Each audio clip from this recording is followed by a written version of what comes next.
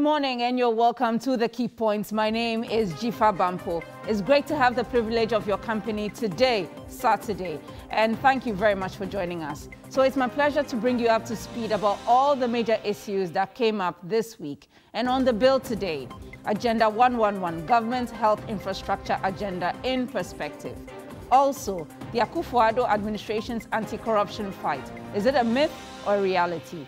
We are live on TV3 and 3FM 92.7, as well as around the world at 3news.com. Join us via our Facebook page as well. It's TV3 underscore Ghana. Between now and uh, 9.50, we'll be able to hear from you. So share your messages via our WhatsApp line 055-369-8789. You can also tweet at TV3 underscore Ghana, at 3FM 92.7, also at me, Beho Bampoh.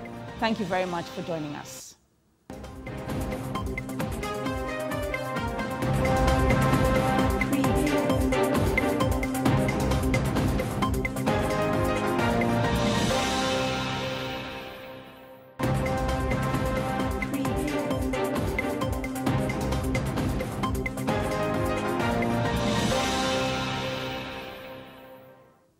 You're welcome back to the key points on TV3 and 3FM as well as 3news.com. You can send your messages to our WhatsApp line 055 369 Our hashtag is hashtag the key points.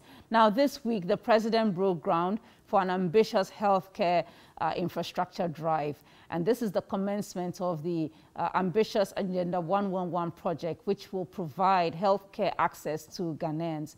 It uh, provides for some 101 district hospitals, seven uh, regional hospitals, including the rehabilitation of that in the Western region, as well as um, three psychiatric hospitals. So in terms of whether this is possible or not, just to take you back, it was not too long ago, I think in 2020, when the president announced that they would be building 88 district hospitals. That didn't happen. Now we have uh, some 101 uh, hospitals which will be built within, guess what, 12 to 18 months. Is that a realistic timeline to deliver these hospitals, knowing that the Eurojet projects have taken well over eight years and still counting? My guests uh, this morning are Mr. Edudzi Tamakloe. He is an NDC legal team member. We will also have in studio the GMA uh, General Secretary, Dr. Justice Yankson, as well as the NPP's Deputy Communications uh, Director, uh, Mr. Kamal Dean Abdullahi. We'll also have the National President of the Coalition of NGOs in Health all of that coming up this morning. But thank you very much, Mr. Tamakloe, for joining us in studio. How are you? Good morning, Dzifa, and uh, good morning to your cherished viewers. Uh, all okay this morning. Great. Yeah. So government has uh, rolled out this infrastructure agenda. I saw a post put up by Dr. Bawumia trying to uh, poke at the NDC, saying that the NDC is the party of the impossible that everything cannot happen. Uh, government is determined to roll out and implement this uh, agenda. In terms of the objective, 12 to 18 months, should we not wait and see if this will be delivered? Um, Dzifa, ordinarily, um, I should not be responding to the jocular comments from the Vice President relative to these serious matters of health infrastructure. Look, you see, let's elevate. When you occupy a position like the Vice President of the Republic of Ghana, you need to elevate the conversation from the, the, the usual sloganeering that, oh, for NDC, is a question of impossibility. What we are looking at is the question of credibility in delivering health infrastructure. Now, our point is this. If you pick the 2016 NPP manifesto, which became the social contract between the NPP and the good people of this country, under health, they had indicated that with the benefit of power, they were going to build health infrastructure, that is hospitals, in districts without hospitals. That is what brought about the 88. So when that promise was made, 2017 budget, no mention of it. 2018, no mention. 2019, no mention. 2020, COVID came.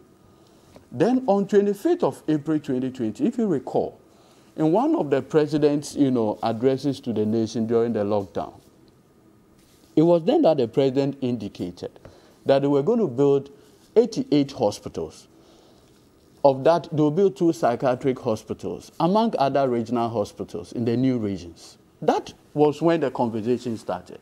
Then we indicated that, look, in your 2016 manifesto, you had already indicated that you were going to build hospitals in districts without hospitals. So this is nothing new.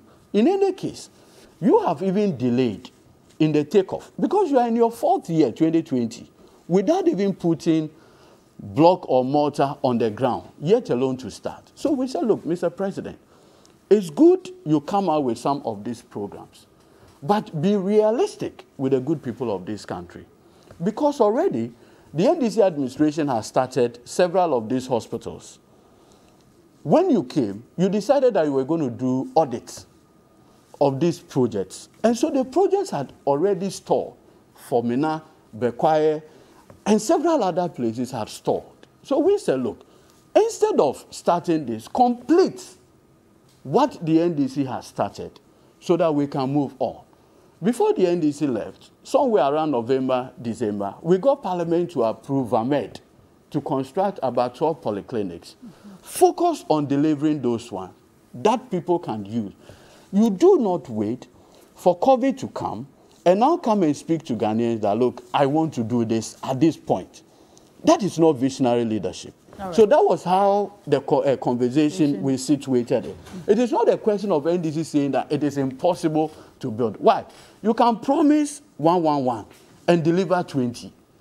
So the, the whole conversation ought to be situated very well. Okay. I'll, I'll come back to you on that, uh, Mr. Tamakloe, but let's take a quick break and uh, hear what the president has been saying about this. The building of these new healthcare facilities. My vision is to help make Ghana the center of excellence for medical care in West Africa by 2030. This we will achieve by investing more in the development of our healthcare infrastructure, mapping our regional health facilities to specialization, as well as upgrading selected facilities in our regional and teaching hospitals. The president there speaking about Agenda 111. I think the critical thing also to be raised is that uh, these are 100 bed hospitals and they will cost uh, some 16.88 million dollars and a commencement fee of some hundred million dollars has um, been applied for the start of these hospitals. But ultimately, all these hospitals together will cost more than what, some 1.7 billion dollars. And that's also another extra expenditure to bring in. Let me bring in and welcome Dr. Justice Yankson, who is the uh, General Secretary of the Ghana Medical Association. Dr. Yankson, thank you very much for joining us on Key Points. Good morning. Dzifa, most welcome. Thank it's you. It's a pleasure being on your show. Great. So there's uh, the whole debate about uh, government's delivery of these uh, hospitals. Are these realistic timelines? The president said 18 months to deliver uh, some 101 hospitals. For now, we know 88 are assured because the land and the processes for uh, getting the procurement and all that is up and, and running. Okay, Dzifa, thank you very much. Uh, I'm not too sure if I will need a bit of clarity from you. I think, to my understanding, the 18 months starts from the day a particular project starts. Exactly. Of course. If that is it, then I think it's doable. I was part of a private sector group that developed the Ghana Infectious Disease Center in the midst of COVID, 100 bed capacity hospital. We were able to do it under three months if the country is committed to improving the health of the people, then I think within 18 months, we should be able to deliver on a project if we really want to. You are building a hospital for the people. How long would you want to wait? If, in terms of structural development, the professionals are saying that you can put up a structure in one and a half years for the people in a certain district that do not have any health facility to serve them to get access to health, then I think it's doable. The key thing here is the commitment on the part of the state itself. Because many a time, sometimes you see developments happening in terms of construction, and then at some point it's sort of uh, abandoned or you, you, the project halts and you don't know when we are going to go back and they talk about variation and what have you. Elsewhere, when a project is ongoing, the contractors will go to sites. They don't leave the site till the project is over. So I think the key thing here is the commitment. And this is something that we cannot negotiate on. But Reason does government really have the commitment? Because we've had other hospital projects, and Mr. Edudzi Tamakloe referred to the Eurojet hospitals, some of which are still, you know, under construction or work is still ongoing. Some need equipment and all that. He referenced another, um, you know, approval to build polyclinics, for instance. We have all these projects dotted all over the place. Why should we be building new ones? Well, in terms of the commitment, unfortunately, I don't speak for government, and uh, I cannot answer. But for me as a citizen, I will urge government to ensure that the necessary commitment is actually given to every one of these projects so that we are able to do it. In terms of why we should do it or why 88, I'm not keen about the number per se. But if you look at it, we have uh, about 260 districts. So if you have 88 of them without any health facility, obviously there is something wrong. You can't have almost a third of your population not having access to health facilities when it comes to their basic health care. Mind you, the district hospitals actually sits at the pinnacle of our primary health care delivery. And that is what we will usually be looking at when we are talking about universal mm-hmm. health coverage and what have you. And our constitution enjoins the state to ensure that everybody has access to basic health care. For which reason, if you have a third of your districts without the district hospital that we have all agreed that at least every district should have a hospital, then obviously there is a need to do them. I'm not here to justify government's decision or not. But for us as a professional body, our commitment is that, look, we will push any government whatsoever to ensure that the people of Ghana have the right health care delivery at all times. Mm. For us, that is it. It is not about party A, party B, no. It's about the people. We need to have access to basic health care. And that one, I think, no matter what, it is non negotiable. Sometimes those of us in Accra, we make mistakes, or in the big cities. You may think that, well, once you are here and you have access to some good health facilities, that's fine. But one day, you could find yourself in any of these districts. And uh, for whatever reason, you may need to have some sort of health needs that will have to be attended to.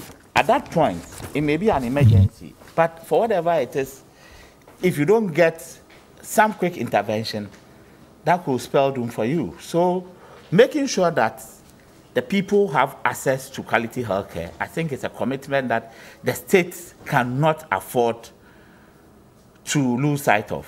And whether it's party A, party B, party C, whoever is in power at all times will have to ensure that we have access to good quality health care.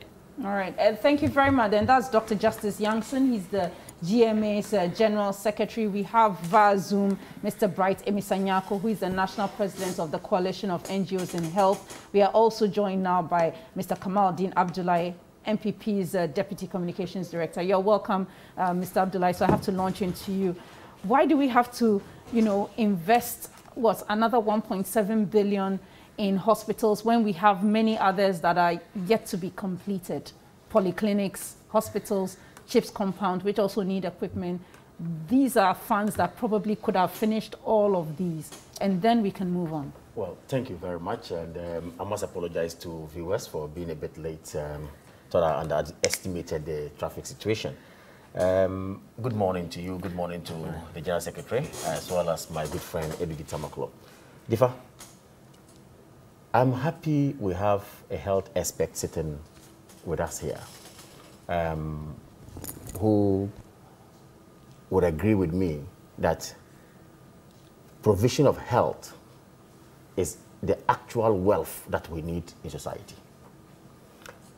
And that being said, infrastructure in the health sector is a process one must embark on to be able to achieve it to the fullest. And sometimes even not to the fullest, but at least to a level where we shall all appreciate or we all appreciate. Dzifa, you asked a simple question. Why do we have ongoing projects? And instead of making sure that we have all these projects completed, commissioned, and of course put in use before thinking of new ones, okay, we're not doing that, but rather we're adding to the existing ongoing projects, new projects that we're going to start to build. Dzifa, I have always said that provision of infrastructure is a going concern especially in a developing nation as we have. One cannot say that we are adequate when it comes to staffing in the health sector. One equally cannot also say that we are adequate when it comes to infrastructure in the health sector or provision in the health sector. Since the inception of the Fourth Republican Constitution, let me take it from there. Of course, we could even go beyond that when you history, but let's take it from the inception of the Fourth Republican Constitution. There has been attempts by, by governments upon governments, okay, or governments after governments to ensure that the needs of the people are met in terms of the provision of infrastructure. That has brought us this far. I don't know. Uh, maybe my colleague. Um, well, I'm not exactly sure you're answering my um, question. I am. I am. I am. I am. I am. I am. Maybe my colleague on the other divide had mentioned maybe the Eurojet project. And then for instance. Uh, one other. Very well. Uh, the These are some project. of the. I am aware that we came to meet some handing over notes, okay, after we won 2016. 2017 was sworn in, handing over notes were given to us. The health sector, we had inherited series of projects that were ongoing. Some never even started at all. But yet funding was actually sought for them and gotten. Question is, where are we with such projects today? There are those who are out there saying that we are launching Agenda 111 when in fact the projects we have even inherited within the health sector, okay, are not completed. But that's not a lie. Trust me, that's not true. No, but that's not a lie. The, Very are, economical with the truth. I am going to give you the statistics. It's simple, it's here. On the Eurojet, for instance, we're talking of Twifo Praso, for instance, which is part of the project. It is commissioned as we speak now, since last November. We're talking about um, Nsoko, completed and commissioned since last November 2020. We're talking about um, TEPA, completed and commissioned since last November 2020. That is under the Eurojet project. You see, so when I say people come to serve us with some half truth or half, I don't know, being economical with the truth to us, of course you would understand. Okay, but, That's we, what I'm saying. but we are told that there is also a hospital in Tredia, the very place that uh, the commissioning happened, and that hospital has not also been completed. I, I have not said that entirely we have done Aha, everything. so my, my, I think Is the that- conversation and- and I- is about those Yes. that are incomplete. So Dzifa, the point is that if you have one hospital or a particular hospital in a particular jurisdiction that is not completed, it gags you or stops you from initiating a monumental project like this that would come to help our society. Does it stop you?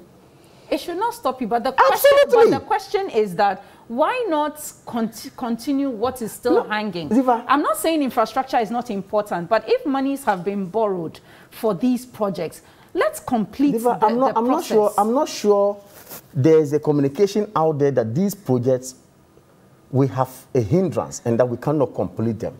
No. What I'm saying is that it is a going concern. Some have been completed. We are on the course of making sure that series of these projects are completed. I think there's Look, also another I- hospital at uh, Afari That too. Yeah, you can mention two or three. Some Yeah. of uh, they are ongoing. They are at various stages of completion. But you see, the government of the day sat down to say, look, we have had all these projects, but how many districts do we have in this country? Okay, so this is about Relevance the, of the so matter. this is about the districts that don't have hospitals. Very well. Relevance of the matter is that we've had this. If Tepa has, other districts don't have. The- For instance, maybe there has been some clinic that is in the offing. Government says, no, let's upgrade it to a status of a hospital or a district hospital. Let us be able to do that. Then government looks into the, if you like, into matters that are going on in the health sector and say that, look, all these 250 something districts that we have in this country, over 88, running to about 111, do not have hospitals. Is it critical and essential for us to provide such facilities? Then someone says, no, the argument is that we've not even completed some of them. Why are we having this? I think with a greater respect, we are a developing country.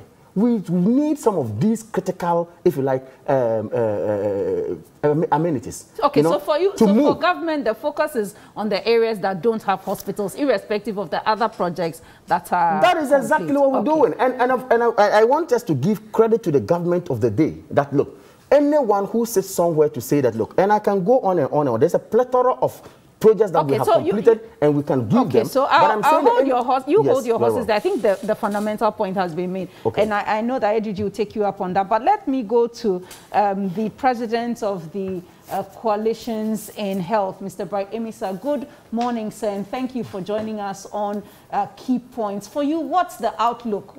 Do you see us, um, you know, completing these in good time to serve the communities that are underserved?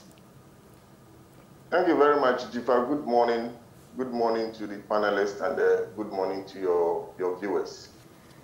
I think I, we, we are having a very good um, conversation this morning, and I like the way it's going so far. The whole issue is about the infrastructure gap at the primary healthcare level. Here we are talking about the, the district um, level largely.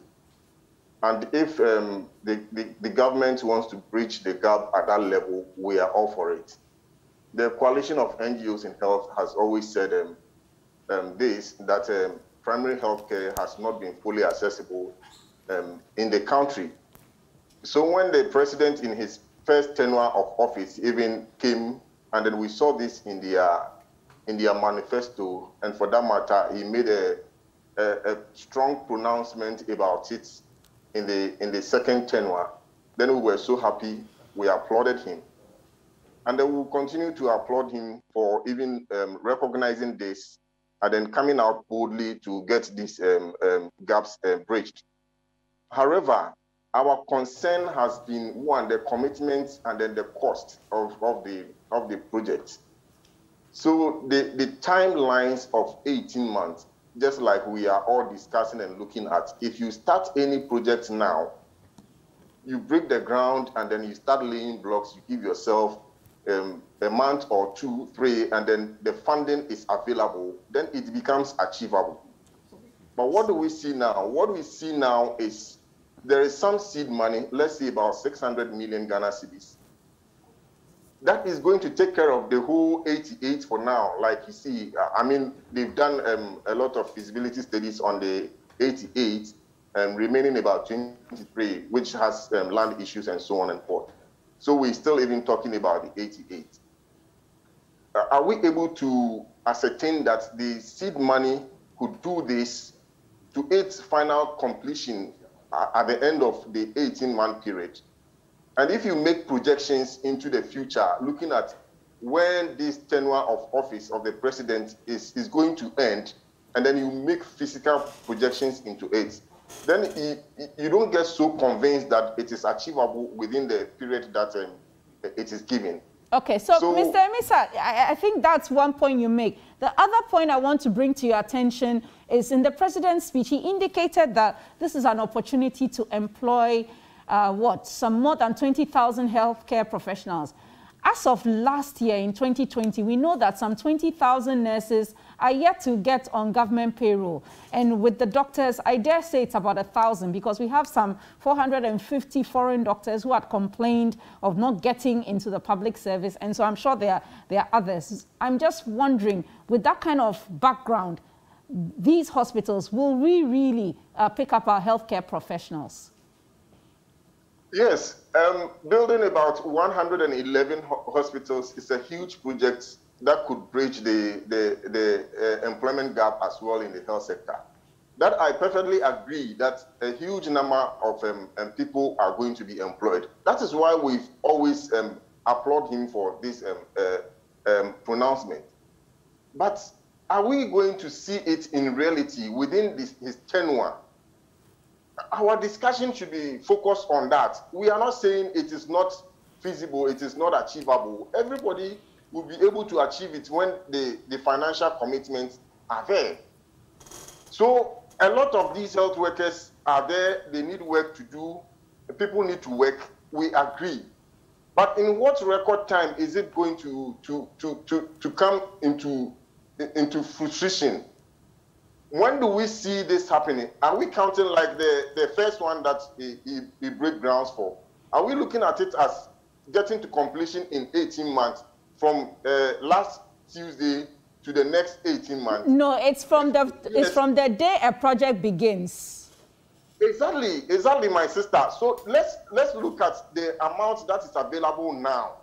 So if you look at the amount that is available now, then you could agree with me that from the day the project begins, like the first one the president um, cut short for, should be completed in the next 18 months. That means one out of the 600 million Ghana cedis given can be completed as such. But I hear the discussion to be it is a it is a money to be given uh, to the contractors for mobilization for all 88. So if the project is going to take that cue and that angle of giving mobilization, and then they wait, the contractors look for funding and on those things, our fear is that by the end of the president's tenure, they might have raised a lot of structures to a certain um, um, percentages that are not completed and might have not done us a lot of good. All so right. if they could look at putting them in phases and then getting them completed in, in those phases, that one becomes more realistic than getting them open and say 18 months. One yes, of course, it could even be completed before 18 months when the project starts and there's money.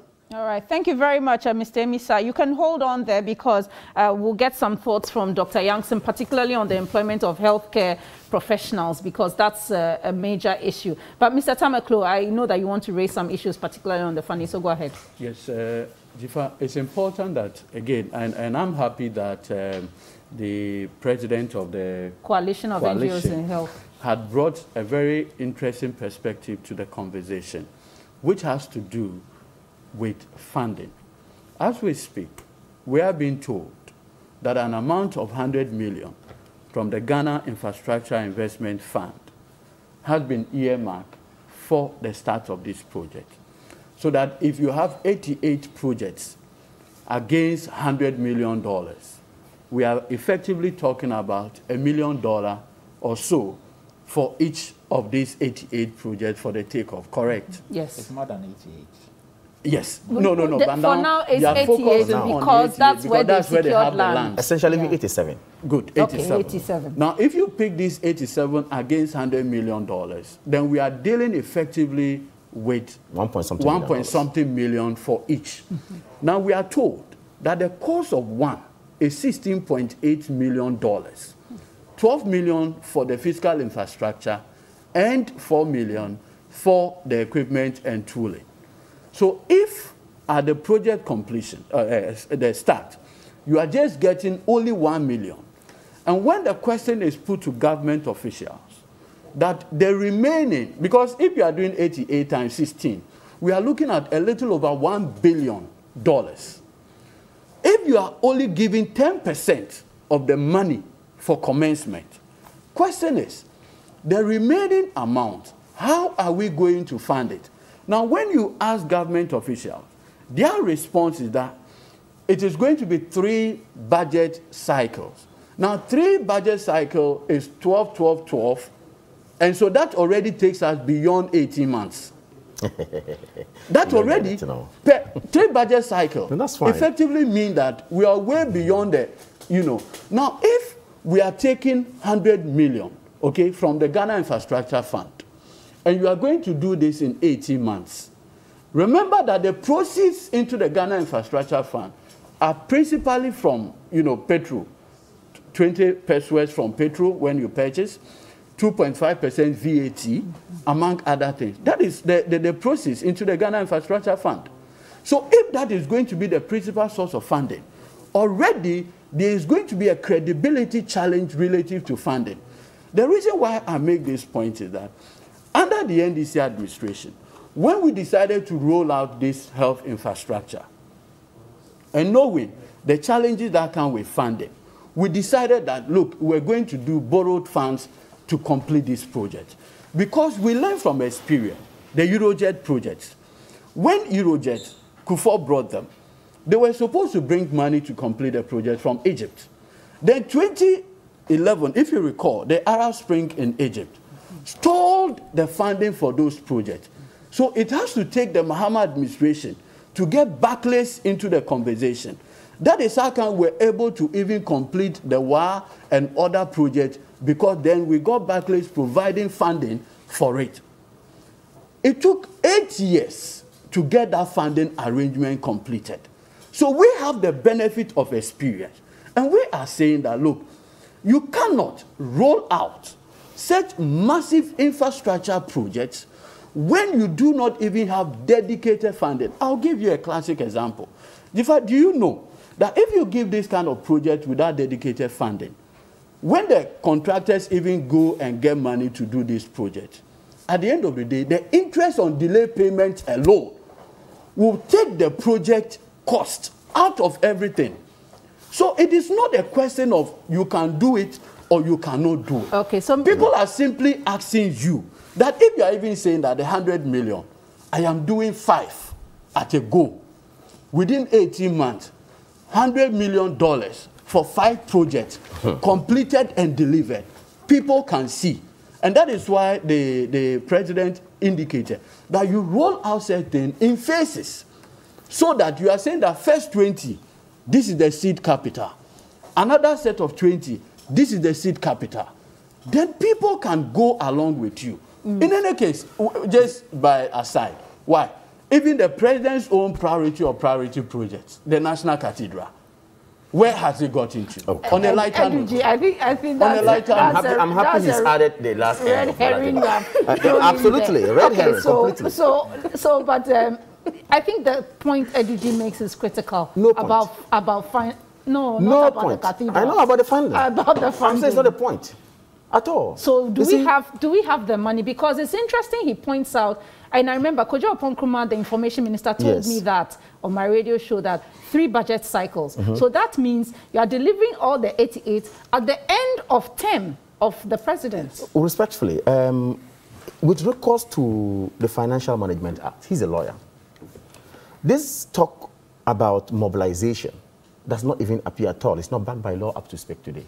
I know that this I- time I- it's I- almost I- as I am if making a point. No, Dzifa- but it's almost as you allowed him to flow. Yes, Just no, allow I'm me just to make a point. That it almost I- I- seem, seems that the nomenclature has changed. Now they say commencement funding. I am saying, I am saying that I've just, I just want to set a premise. Okay. And I'm saying that the doubting Thomases, okay, which my good brother Edudzi Tamakloe belongs to, okay, are not sure of where we are going to get the funds. And it's not the first time we are there.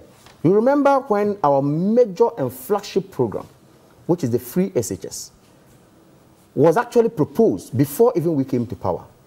They, even in government, said, Where are we going to get the money? I don't It's- think that's true, sir, because the president was on hard talk, and that question was asked him where it would be funded. He could not He didn't answer. Yes, Differ, please. differ, differ, So please let's not blame it on the even- NDC. Differ, differ, differ, Yeah. differ, respectfully. I'm saying that even they, the NDC, when we would propose free SHS in opposition, knowing very well that we're going to think out of the box, put modalities in place in the eyes of the law to raise the money and make sure Ghanaian child gets education if he's supposed to or she's supposed to. They actually came out to say we could not do it. Now, when we got power, our first budget, inculcated therein, had to do with expenditure towards free SHS. They said, oh, this would not see the light of day.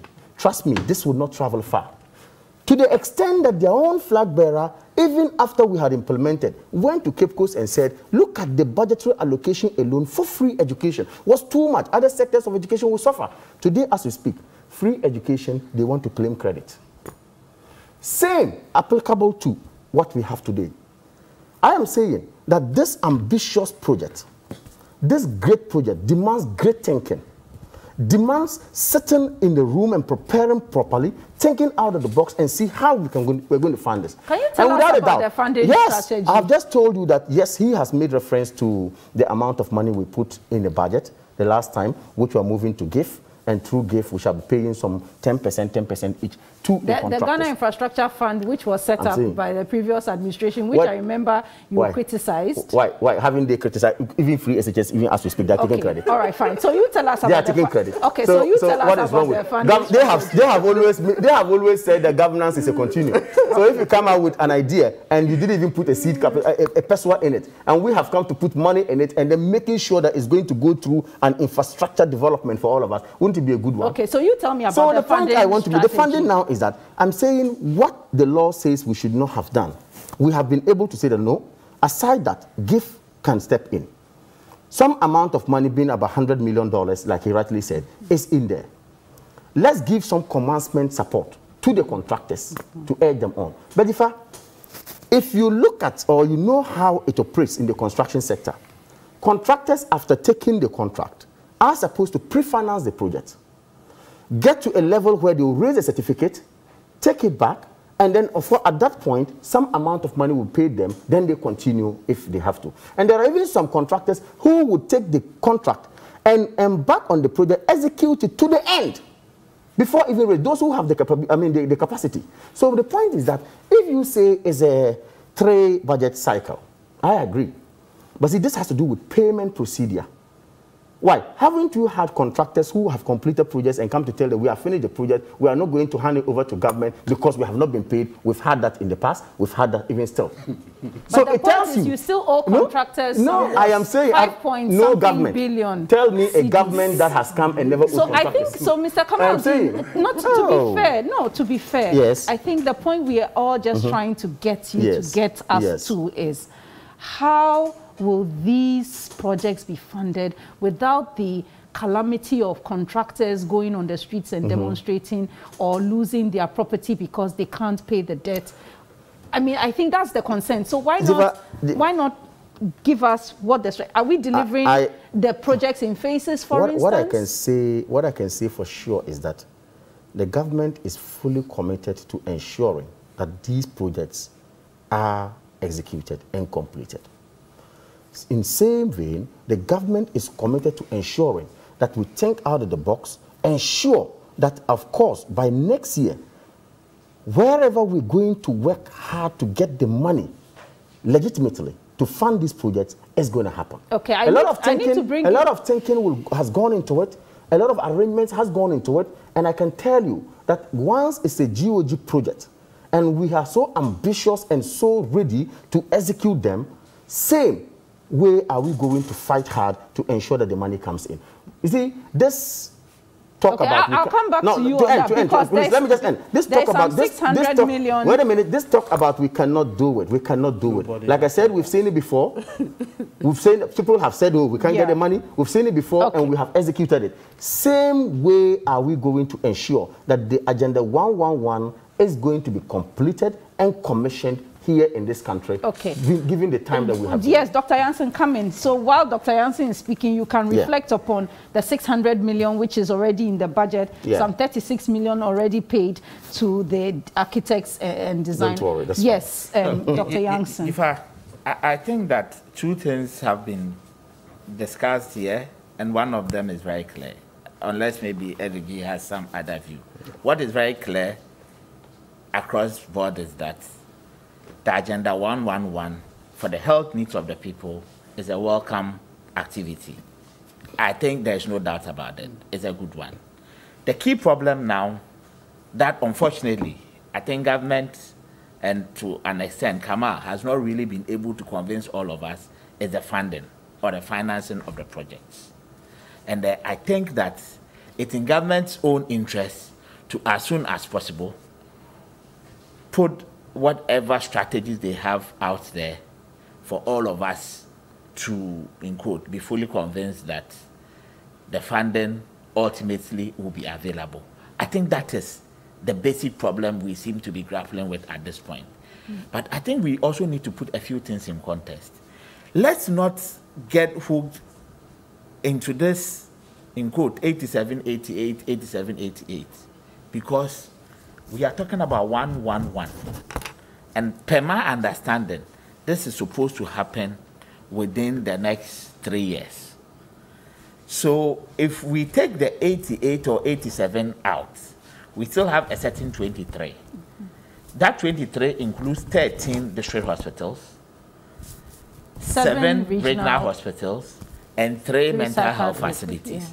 Obviously, that 10, the regional hospital and the mental health facilities, most likely will cost more because the regional hospitals are supposed to be the secondary level care mm-hmm. activities. Mm-hmm. Their requirements in terms of equipment and the sizes and what have you may be way bigger than a district hospital. Certainly. So there is still some funding beyond the 1.7 billion that we are all talking about that we need to get. Mm-hmm. And we think that these are some of the things that government will have to work on quickly and make sure that there is clarity for all of us. Would the GMA like to at least see a certain plan that demonstrate how this is done? Because, I mean, now there's a certain un unsureness about whether and I know you said we shouldn't dwell on the 88 or 87, but at no, least, I'm not saying we shouldn't dwell on. All no, I'm what I mean is, that so now, let's not focus only on that. On let's that, remember that there's that also a certain 23. Hospitals.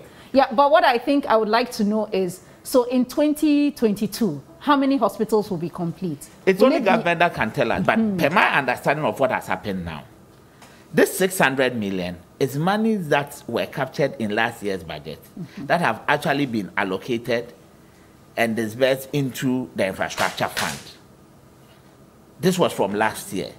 Unfortunately, I don't know what disbursement or what provision we've made for these projects from this current budget. And maybe Kamal may have to tell us.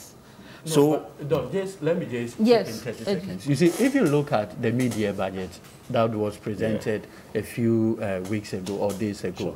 you notice that at Appendix 4D, in Appendix 4D, government provided the expenditure for the 2020 COVID funds. And in that 2020 COVID utilization and allocation, they had indicated that 600 million has already been utilized. No, no. But that's the challenge I, I, I have no, with no, that data.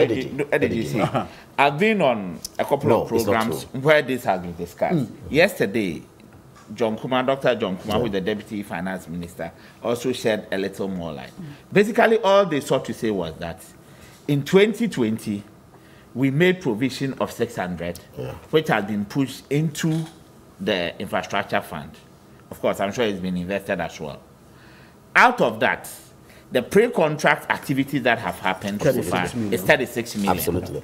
I don't know whether all of it is being paid or not, not. but definitely some expenditure. That's the phase one of the project. No, uh, come on. No, you see, you see no, no, no, uh, uh, no, no. Hold on, hold on, hold on, hold on. no, doctor, I no, you see, no. I think, I think, I think. You see, mm-hmm. I think we should just understand what has happened, mm-hmm. so that we can also critique and urge government to do the best for all of us. Absolutely. I think for me that's uh, very no, fair. Okay, so, let so me, let the key thing is that the key thing is that beyond what you did last year mm-hmm. by allocating 600 and starting the pre-contract activities, which for me is good because every project you need to do these things.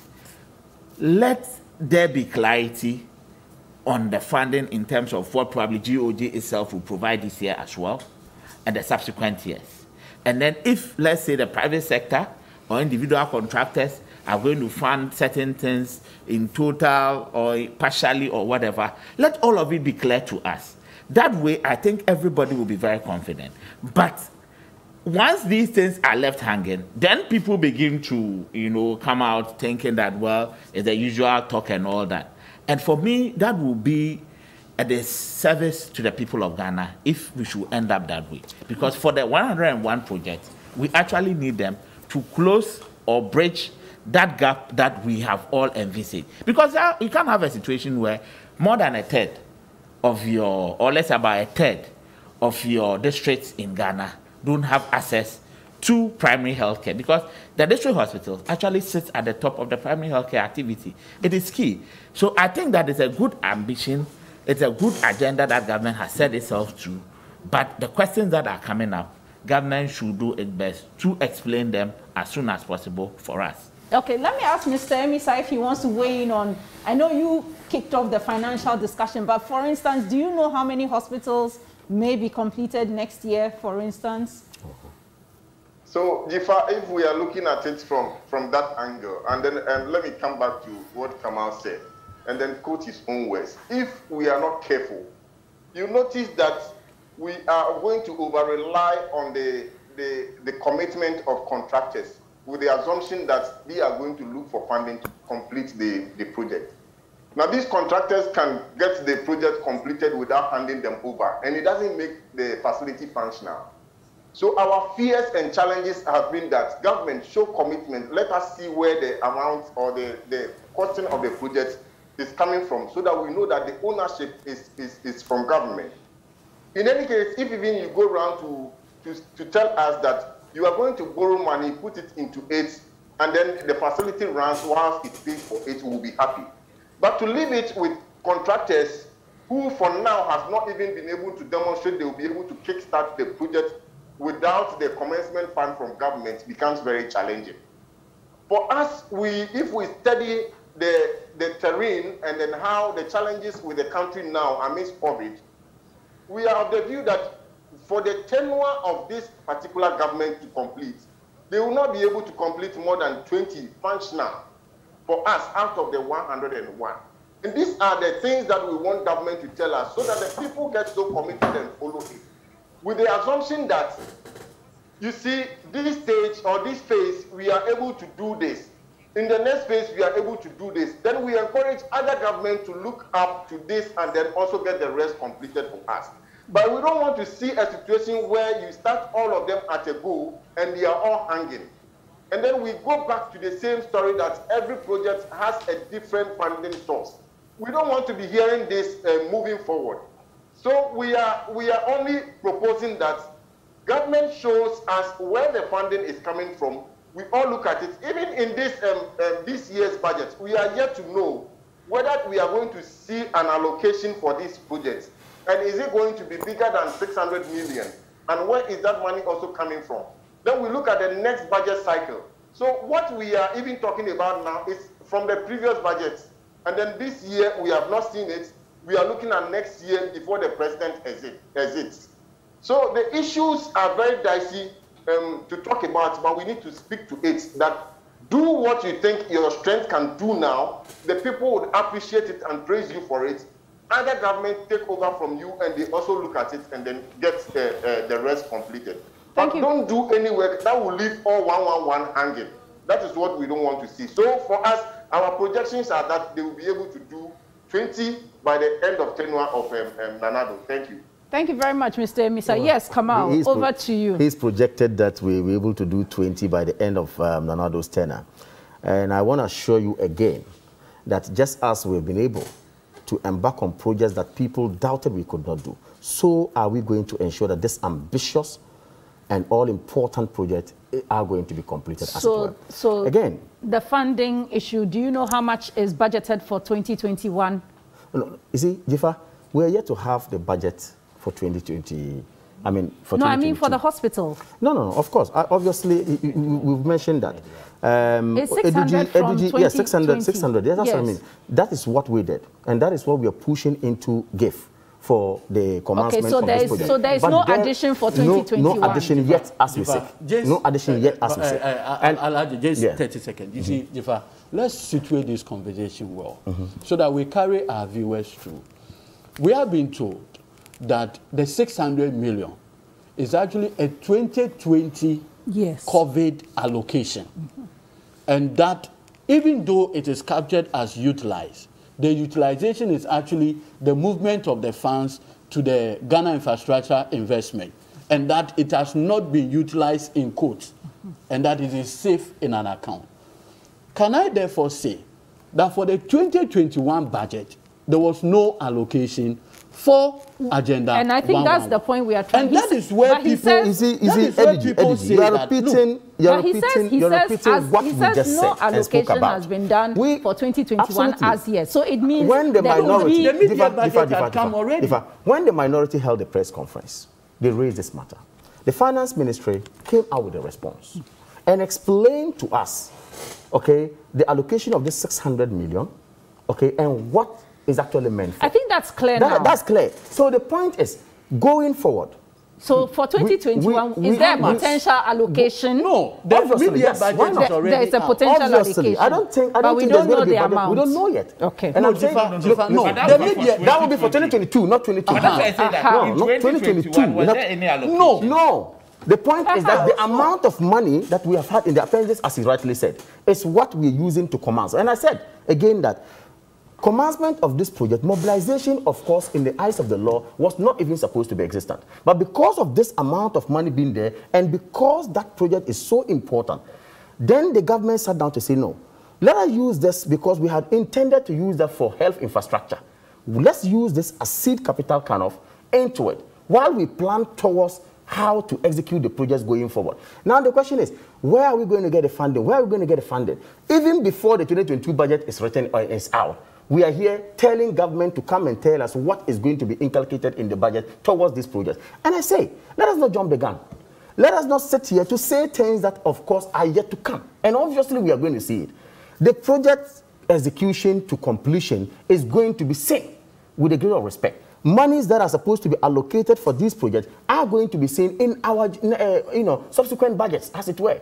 So I don't see why we have to sit here and then try to look into whatever to say we I propose or I assume or I uh, predict that we're going to have this amount of money in the budget towards this project. Let us wait and look at it. By November, we're going to see the 22 budget, 2022 budget, and we are going to surely be told how the commitment of government is towards these projects, as it were. Dr. Yankson, Yeah, well, I, I, I think, I think Mr. Amissah, yeah. Mr. Amissah projects some 20-something hospitals. That- that is his end of- prediction. Well, I don't think it's unfair to say that No, because I'm not saying it's unfair. It's, it's similar that's to his when the. NDC Dzifa- Dzifa- started Dzifa- the 120 Dzifa- community senior high schools. We mm-hmm. all saw mm-hmm. how many were completed Not after 100, they were 200. They promised after 200. the fact. And they did 47 Okay, or so 37. Dr. Yankson, No, but see, you for see, me- Doc, Just a moment. Before Eddie, I'll come co- to No, you. 30 seconds. Before Doc comes in, I just want to find out Eddie from Doc so he can do up to you. When you say 100 bed hospital, mm-hmm. is there any technical qualification for what constitutes 100 bed hospital?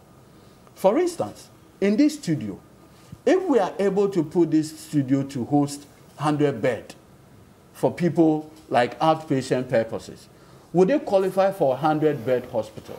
Because I do know that WHO and all of those things, they have a certain level of classification.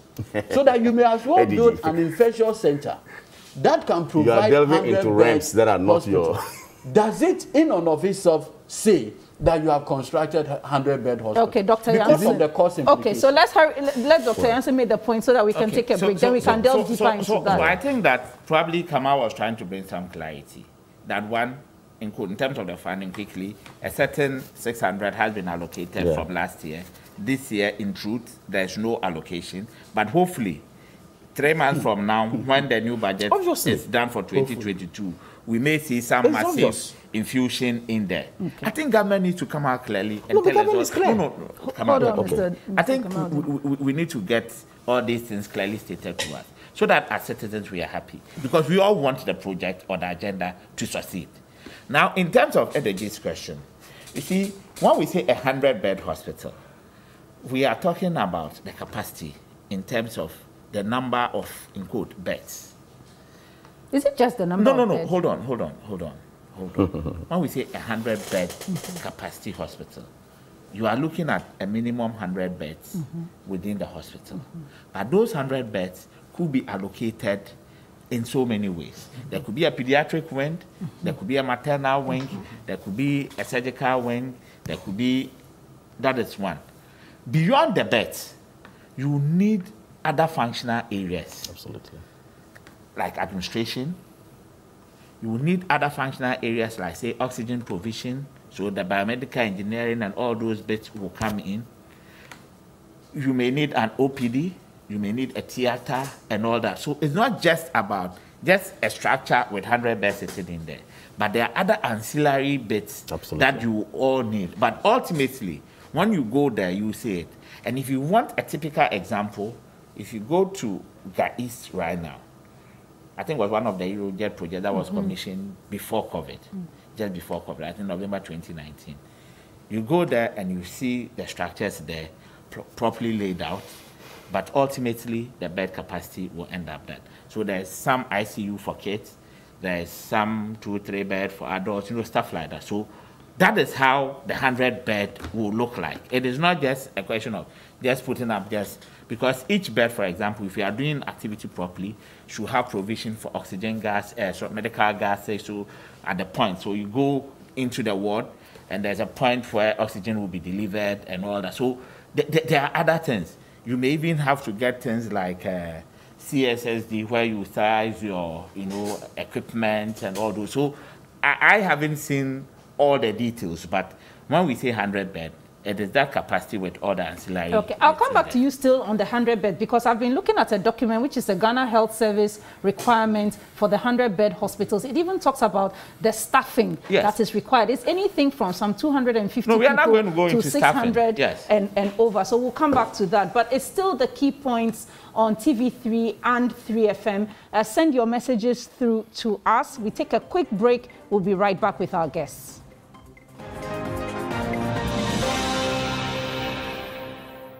Thank you very much for staying with us here on the key points. It's been a, an interesting discussion so far. Let's take some of your messages and then we'll speak to the president of the Coalition of NGOs in Health. Uh, quite a lot of them on, on this uh, subject. And this one from Aziz Nwa says protecting the public purse is now building the most expensive district hospital at Shama at a cost of 41 million Ghana cedis. Indeed, this government uh, has not been honest with Ghanaians. Um, I'm not sure about the cost of the Shama hospital, I must say.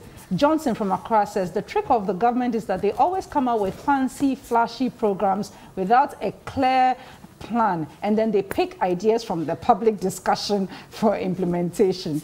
This one from um, Mbabu Atamale says, thumbs up to you, Kamal-Deen. Uh, inshallah, the Agenda 111 is doable. This government is committed to providing better healthcare infrastructure for the good people of this country. And um, Julius from London says, please give us one of the hospitals at Nandom.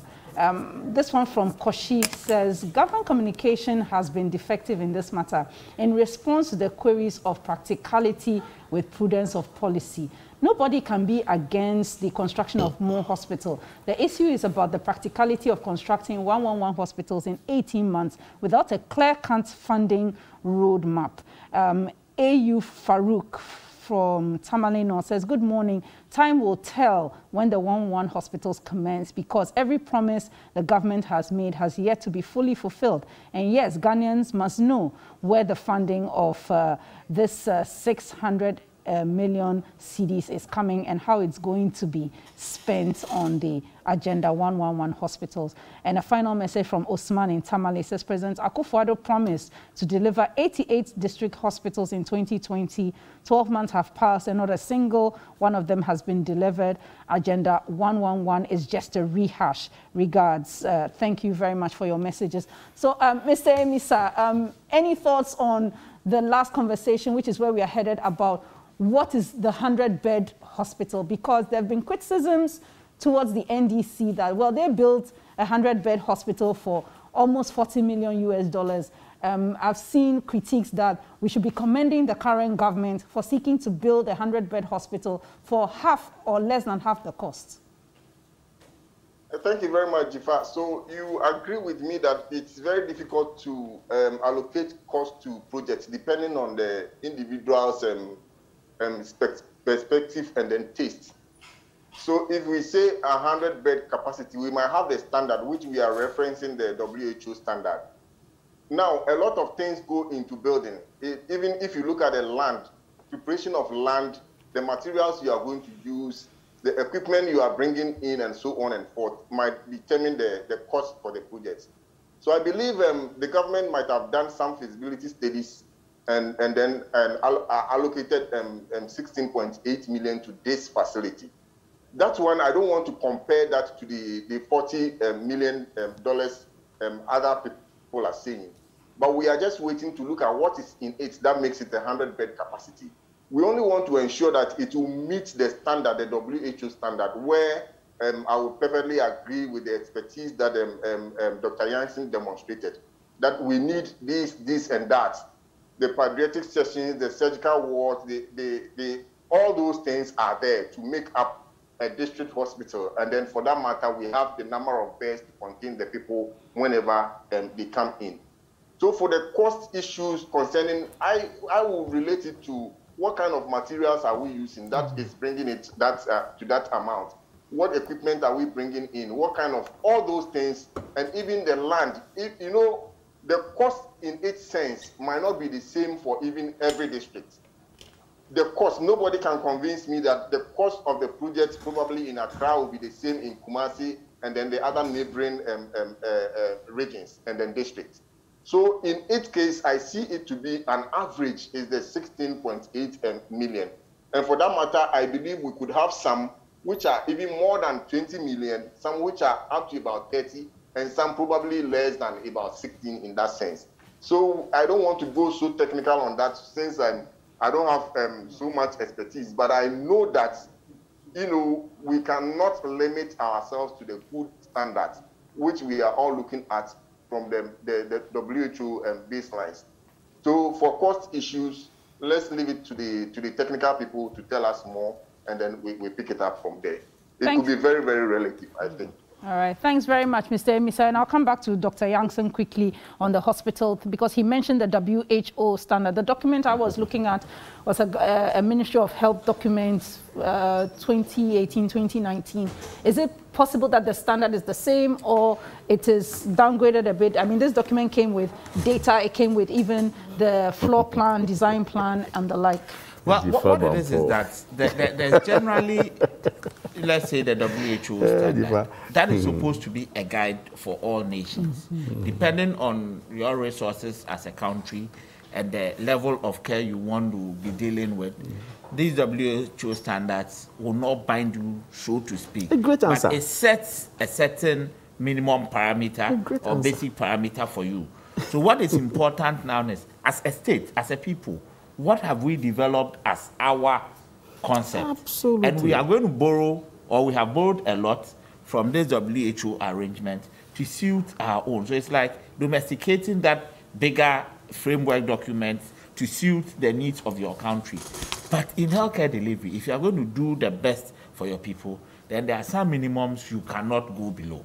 So we expect that when we get full details out of this particular agenda one one bit, whether it's the district hospital or the regional hospital, when the full details are given, we can then do a better assessment or critique, if any, to see whether at least it meets the minimum benchmarks. Well, the president did talk about it in his speech. Yeah, so I, I, think that this uh, that is for be... the district. But the reason why I'm asking then is then, Mr. Tamakloe, how then do you explain the criticism that the NPP is delivering a district hospital at half the cost that was delivered no, by the no, Mahama administration? You see, you see, that is where the deception is.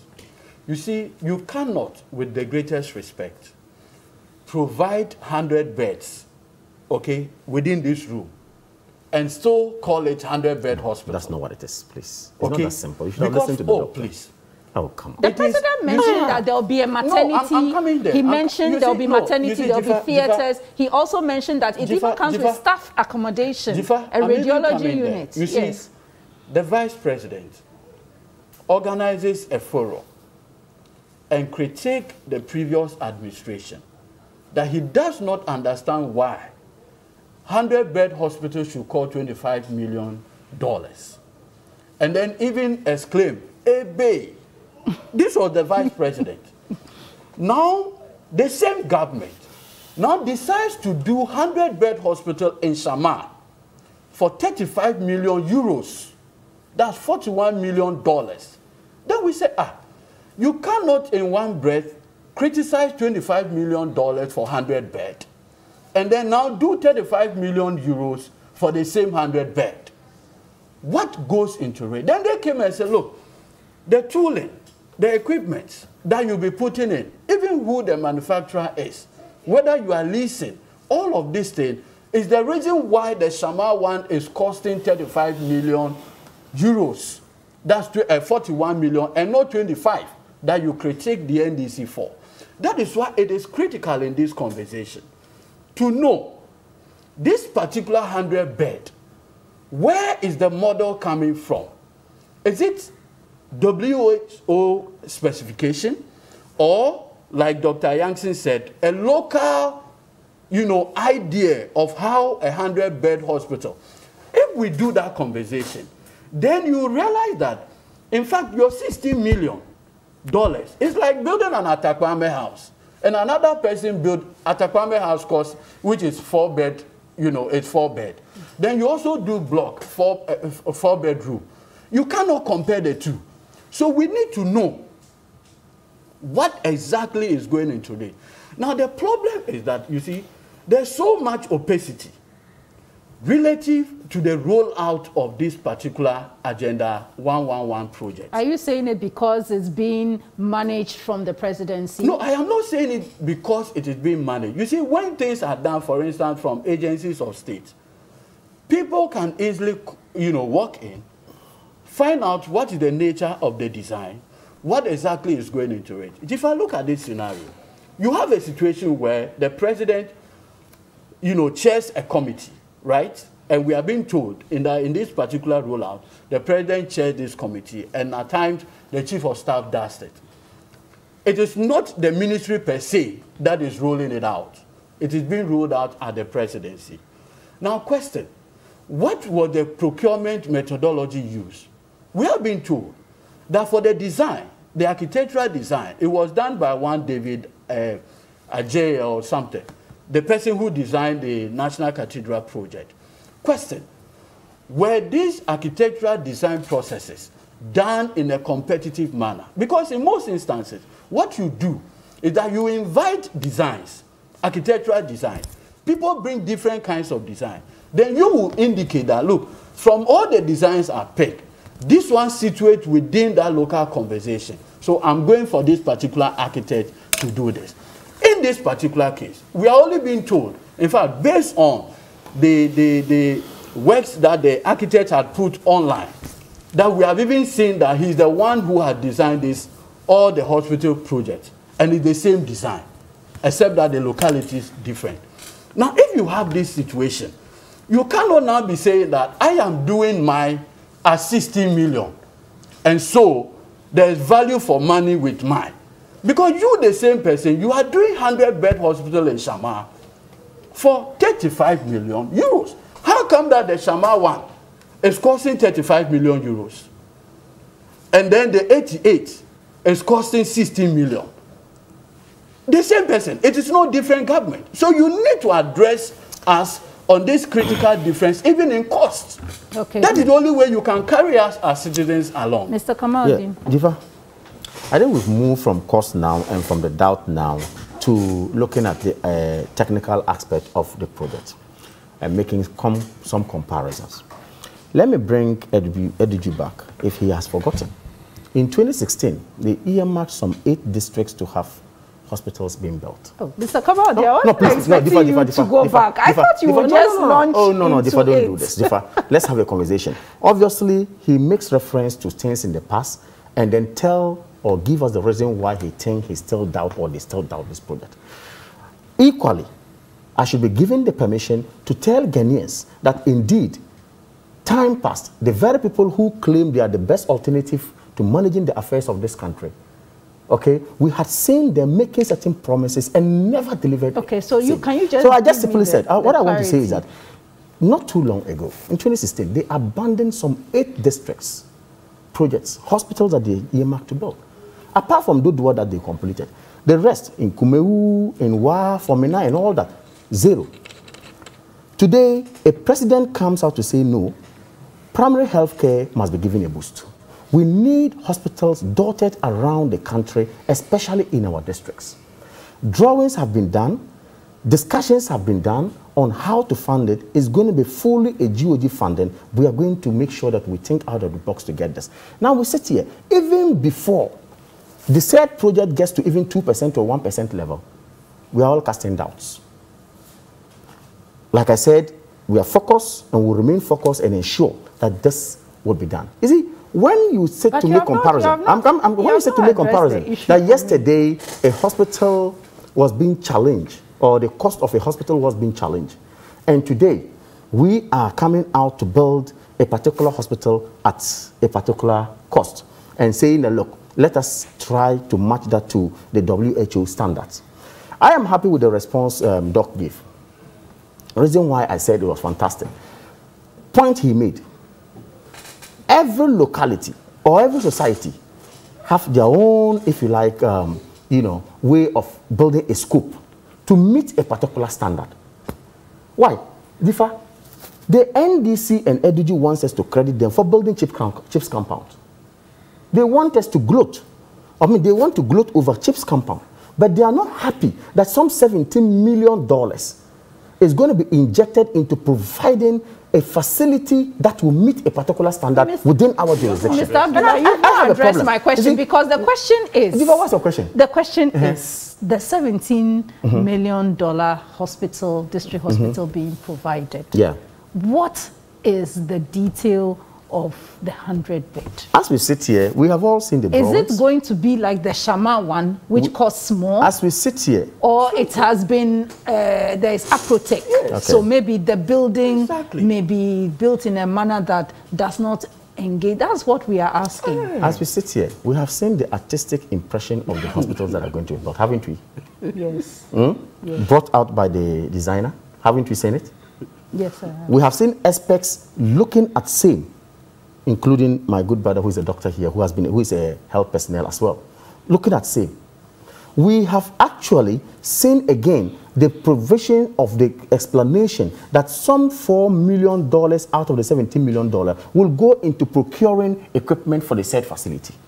But the actual cost for the building and structural, integ- uh, what's the name? Structural um, facility setup or setup itself is going is to be some 12 12 million So dollars. I think that's now, the these fundamental. Details, these so the details have been provided. Yes. So the This- fundamental thing is that the four million dollar equipment being provided for this 100 Mm-hmm. bed certainly may not be the same as what has been provided at Shama, for instance. Dzifa, it is so clear that maybe if we should go into the details of what Shama was supposed to be and look at the scope of work that has been provided in the contract, may be different from the scope of work of this particular Okay, contract. so, proba- so probably but there was scope see, creep, what- of- of- scope creep maybe that added but on, on a the few face of other it, you don't just sit down and say that because Shama was going to be 35 million um, euro or dollars or whatever, then we cannot build a hospital costing 17 million dollars. That would be a very weak argument you are making.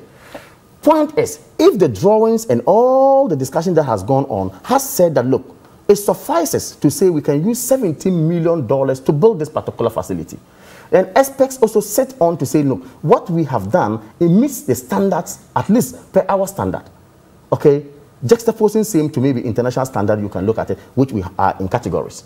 Maybe you may choose to go for 300 million standard, you can choose to go for 200 million dollar, depending on your thinking. Anyway, okay? But of course, is it also feasible to have a hospital? Is it also feasible to have a hospital costing 17 million US dollars? And are experts Uh, also okay on that? That's why I said Okay, I will so be I, reckless to what am he said. glad You you said search. that because Yeah. Mm-hmm. when I was looking at the Ghana Health Service document, it Yes. talks about various categories. Very well. Mm-hmm. There's category A, there's category B, category C, category D for these primary healthcare uh, facilities. Yeah. You know, so it may be depending on what category it is. That's what we are getting the 17 million for. They've, they've always said, they've always said the devil is in the details. And I believe that, yes, what we have done so far is, is, is not out of place. And like I said, they have looked into it, and experts have looked at it.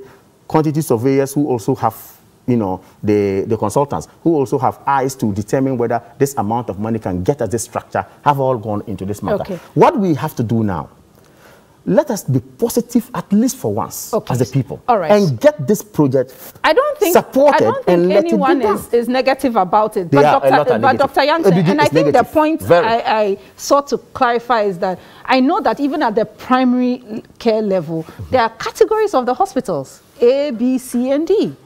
And so we don't know what this set of this set of hospital being built, whether it falls under category A, B, C, or D. Oh, that then determines the cost. Oh, I have to raise it because because it also determines your staffing situation. It also does determine the staffing situation. I, I think that for this particular agenda, what we've been made to understand is that we are going to have the district hospitals, you know, 103 of them, which will meet our basic standard as set out in our policy documents. So for me, once we are meeting our basic standards, of course, our standards also mirror a lot of the things within the WHO standards. So once we are going to meet the basic standards, let's get the detail and then we can all do it in terms of quantifying the cost. But what Kamal is saying, or what government has said for all of us to hear, is that they have already put the experts in place, they have done all the figures, and this is the conclusion they have come to. What I will urge government is that in all this 101, uh, 101 you know, projects, one, generally speaking, there should be value for money, and as much as possible, we should avoid unnecessary cost overruns. Mm -hmm. Because as a country, yeah. a lot of times we do these things and it goes back to There's like a lot of scope, we, we, scope creep we, as need, well. Yes, we, we, need to plow back, you know, a lot of the funds we have into the operational ends and what have you, because beyond the structures and everything, when operationally you have difficulties, then you are not also giving the service that you want. So I think that one government should take note of.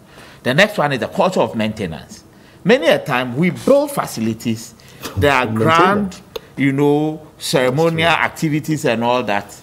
The officialdom will leave, go back to their place in a couple of years, and it's in a very terrible state. So there should be clear activity when it comes to maintenance. And these guidelines, we should enforce them such that it becomes mandatory to have that culture of maintenance in our communities. okay, can I just so, so point from you, and then I have to take... No, a simple um, question from Doc, maybe so you yeah. can dovetail. Yes. You see, we are looking at a more localized conversation in terms of 100 bed. You are general secretary. You're so obsessed with the, this 100 beds. Please, you are so, you are a member of the professional body of doctors, Ghana Medical mm. Association. At the point of implementation, did you have a member oh. on the committee? Oh, you see, the reason why I'm oh. asking this is that, that is you are talking about project meeting specification. Why? Did it have an input from the professional body of doctors because ultimately oh, they are going to man these hospitals. It's critical. This is not for You doctors. cannot say that this you are building hospital for doctors that you are going without an input from the doctors. I'm not saying it's out of place, no. But that No, so that's why I'm asking him. Do they have, have a rep on it? Have, it's a simple oh, question. Oh, no. But the Minister of Health was is ah. leading this as well. Yes, but the professional body. This is a Okay, a quick business. one and we need to wrap up. Okay, purely so, government business. So for us as Ghana Medical Association, in terms of this specific project, we were not part of the committee. But what we have been made to understand is that the basis was based on the policy documents that had already been developed. Good. And in some of these documents, in terms of development in the past. Look, let me quickly oh, add this. Let, no, let wait, let him finish. A question to you as well. When, when, when they were going to build the over to whatever 2,000 they claim, CHPS compound, did they invite you? Yeah, that's what I'm saying. Were you invited? No, no. Did they, did they invite no. you? When, when, they, when, when they said they were going to forgo their salaries to build CHPS compound, did they invite no. you? So where's this question coming from? Ah, come on. Let's, okay, let's, so, let's, so, okay, that, that, that, so just your final point, yeah. So where's this question question coming from? so, so that when the government is going to implement the policy, you go out there and be looking for CSOs to come and get Okay, so the, my, my, no, no, don't get this. Uh, my last bit, my last yes, bit has to do ultimately with you know the operational and the staffing. Please, most of these facilities are going to be in the district. We all know the yeah. nature of our development. It is skewed in terms of social infrastructure towards the bigger cities. Government must ensure that they put in the right motivational incentives to attract and retain healthcare professionals in there. There should also be the culture of training of the professionals who will endeavor to serve in those areas. These are very key things because now the private sector, the quasi-government sectors within the, the, the health structure are also growing. And there's competition for the same kind of people. And for the districts, usually you find government being the entity operating there in terms of the delivery of healthcare services. If we don't put in the right structures, like in proper terms of, schools and other no, beyond so all that, those bits, so that you need you, you, you will and the need to have some incentives- in place So that, that will ensure that it will be attractive to people. Because the truth is that you cannot compel anybody to work for a particular employer. Thank you very much, uh, Dr. Yankson. Uh, Kamal, I have to stop you because you've made your point. Oh. Final point with uh, But I have Mr. my final Amissah. point to make, you know. Yes, uh, Mr. Amissah.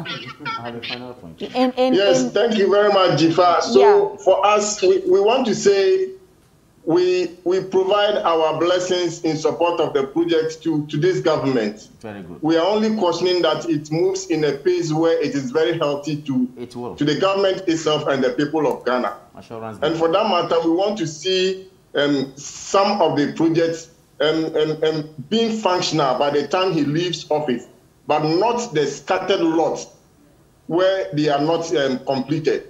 So it will be great to see some of them are raised and are functioning, and then we, we point our hands and say, in Nana Addo's government, these um, district facilities came into being, than leaving a lot, excuse my language, in the bush that are not functional, that we cannot point to any.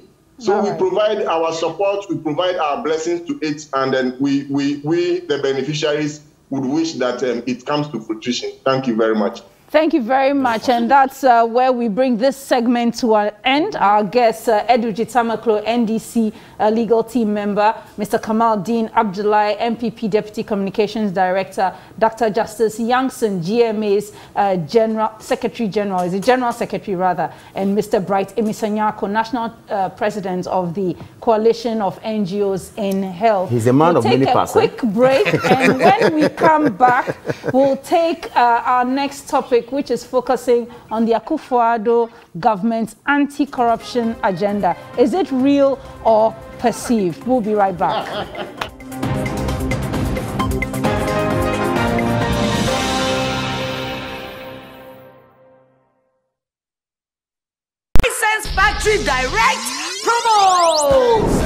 points and my name is Dzifa Bampoh. It's also live on 3news.com as well as our Facebook page TV3 Ghana. You can continue to send your messages to 055 369 8789.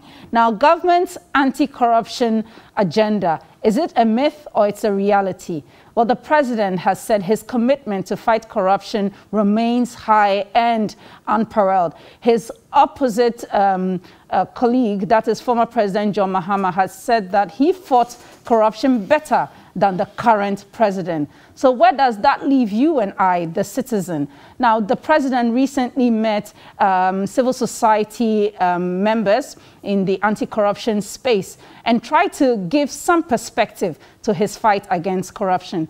In recent times, the president had been criticized about how he dispensed of the services of former, act, uh, former Auditor General Daniel Domelevo. He was also uh, criticized for not taking uh, strict action against the boss for the Public Procurement Authority, who was engaged in a cash uh, for sale contract deal, and many others as well. There's reference to even um, accusations about the Agyapa deal, the recent deal relating to ECA and GNPC.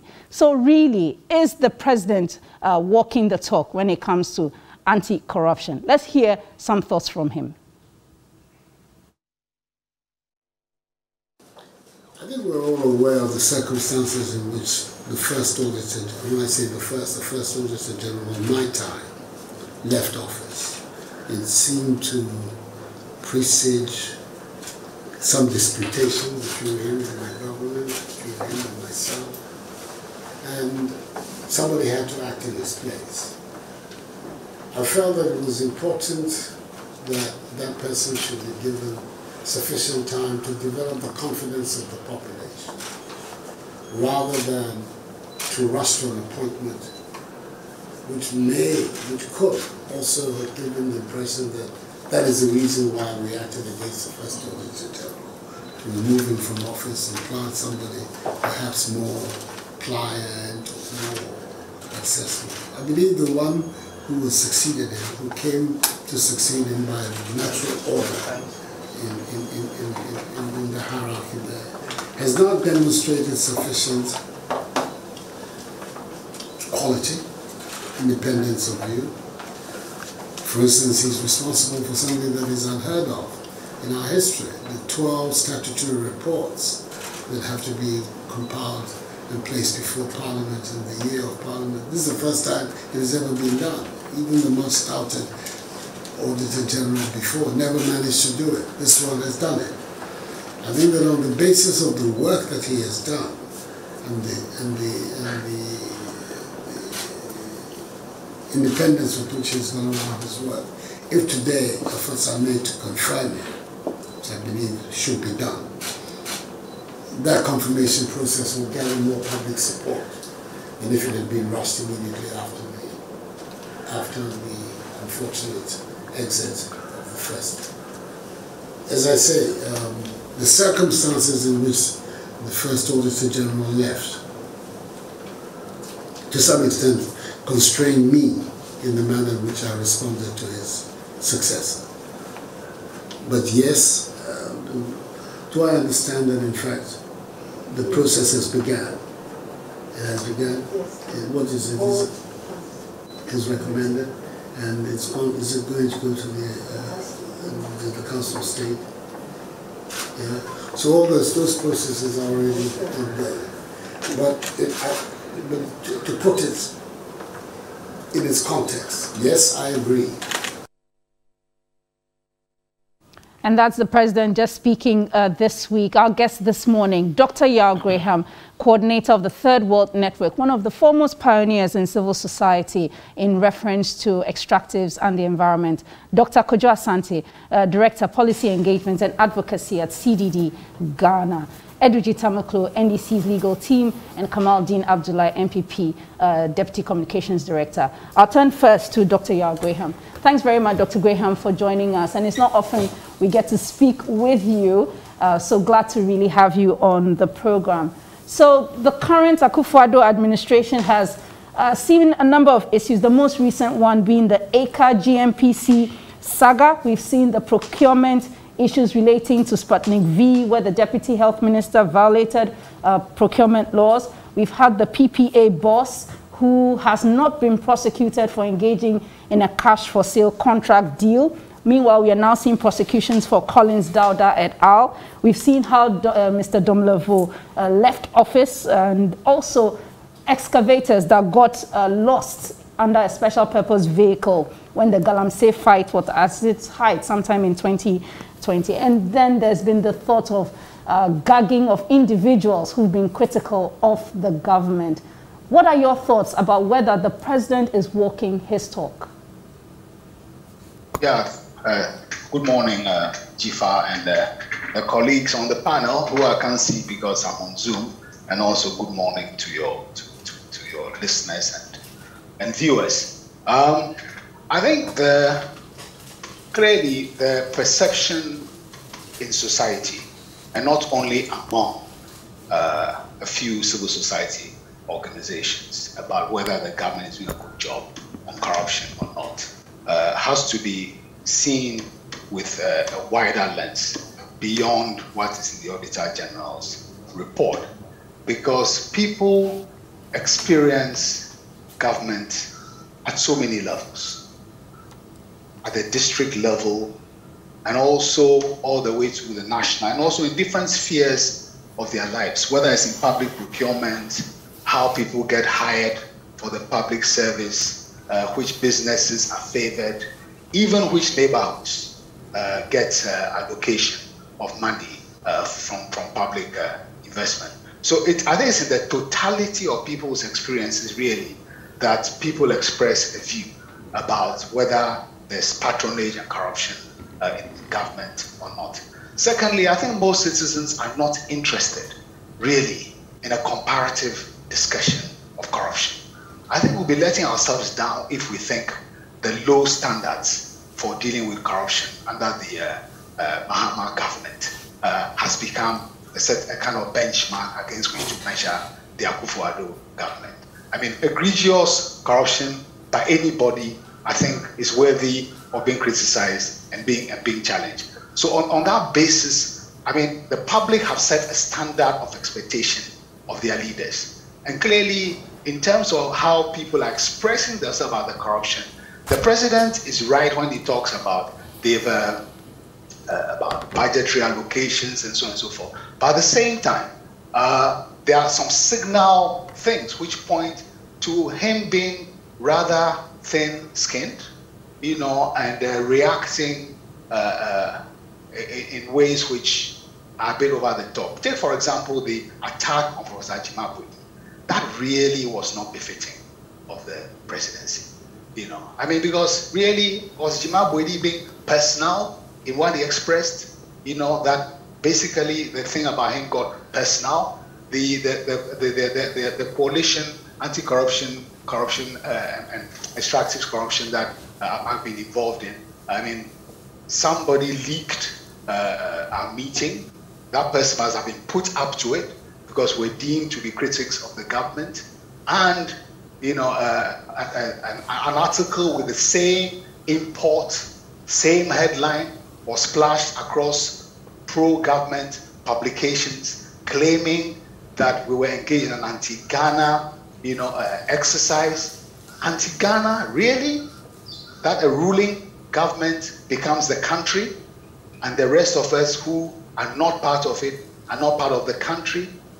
is speaking your mind an act of treason? I mean, I think these are the bigger issues that come into view in terms of how some of these things are. And even during the, uh, so it's not simply the president. I think we should be talking about the culture of administrations. Because, you know, in a way, when uh, people in a ruling party, particularly leading members, speak publicly and angrily about the entitlement of members of the of the party to jobs, you know, and to contracts, to the exclusion of others. I mean, this is a, basically a declaration of privilege, uh, not based on merit or due process, simply because people are in power. People hear these things, and there's no criticism of that position. There's no pushback. So people are entitled to feel that well. I mean, it's a free for all, limited to those who are close to power. So I think this is a wider lens we, we need to bring. And finally, I think the, the fight against corruption also, I mean, because so many institutions and agencies have to be involved, we have to ask the question, you know, about, about the landscape uh, of, of, of, of, how the intervention of different uh, actors are, are, are, treated. Because ultimately, really, I mean, we the citizens make or make government. If those who yesterday were our peers who we have elected into office to, to, to run the country for us, uh, and also put some in parliament to serve as an opposition, suddenly become, in a way, untouchable because of the political decision that we have taken, then we have a problem. Mm. Thanks very much, Dr. Graham. Let me come to Kamal-Deen because ultimately um, the buck stops with the president. And I was looking at some data put up by the Ghana report and they tried to do a summation of how many times corruption has been referenced um, over the last 20 years. And it is deemed that in the last SONAS, that is in terms of the State of the Nation address, that's the document that was analyzed, the president said nothing about it in the last two SONAS. Well, so it, it gives even a certain sense that this is something the Akufo-Addo administration doesn't even want to talk about. They don't want to reference. I gave you some examples. I know Dr. Graham says we should look at it from the wider perspective. Absolutely. Yes, but the point is mm -hmm. This, this administration, people had hope that they would really tackle corruption, and many are disappointed. Well, thank you very much. Um, Dzifa, corruption in itself is a canker we must all fight. In government, without government, or out of government, you have an obligation to fight corruption. Part of the media, whether you work with you're a private person, whatever, all of us owe it a duty to ensure that corruption is fought to the fullest. But sadly, Dzifa, we narrow the fight against corruption and limit it only to people in authority. And it's a very sad situation for all of us. It will continue, and that brings to fore the polarization of our own system. So the fact that we have limited it to only people in authority, and for that matter, politicians, then it is only politicians who speak and we think that we are all fighting against corruption. However, like Doc said, it ought to be broadened. Let us broaden the scope. Let's get all inclusive on the fight against corruption. Why do we have the Whistleblowers Act? Was it for just stating in the book's purposes? That is why we enacted such laws. Why do we sit here and we have laws against corruption? Was it just for the spectacle of it? No. Now, for someone to say that I expect the authorities in place to fight corruption, the person is not wrong. Because even before we come to power, our manifestos as political parties, we indicate therein that we are going to fight corruption and we're going to do this to fight corruption. But see, with recourse to the legal architecture of our land, Doc is here, Edudzi is here, I am here, but Dzifa, you are here. I wake up one morning to say I am going to make an accusation against, or I'm going to accuse Dzifa of some wrongdoing, which points to corruption. And because I have come or I've had a platform to make such allegations, with without recourse to the legal architecture, which tells you how to go procedurally, Dzifa must be chastised, Dzifa must be vilified. Is that what the way to go? No. So, you see, when you look at the fight against corruption, like I rightly said, CSOs, whoever is involved, all of us owe it a duty to speak up.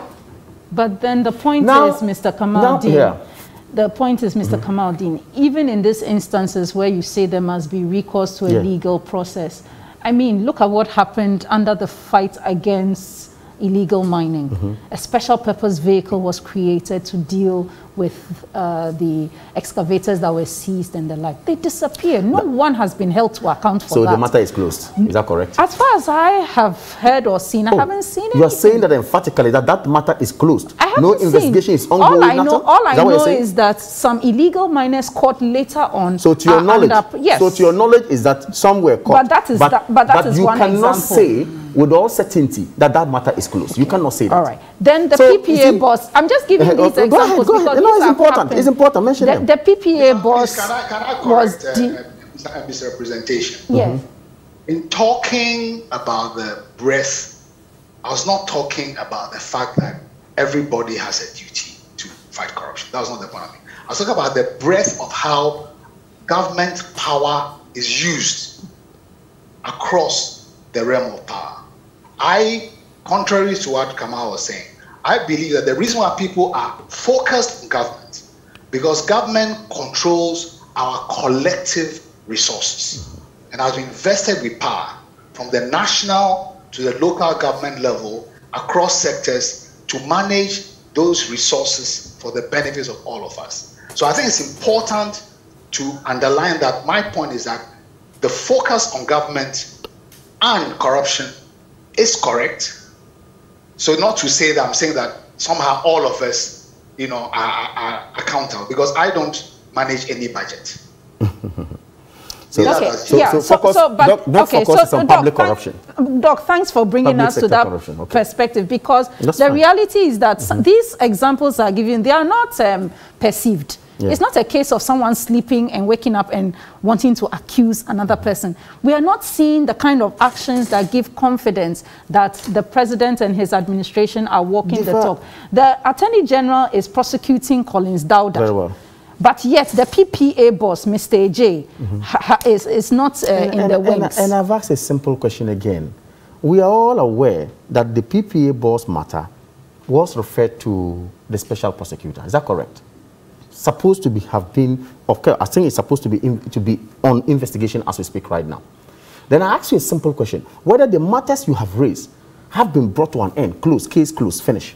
As far as I know, Mr. Charles Bissue is still going is. about his normal duties. And and of course, that does not mean that investigation. Why? With, even within our legal balance, why people commit crimes to the extent that even those days we had we were still that in court you don't even have bail for murder cases.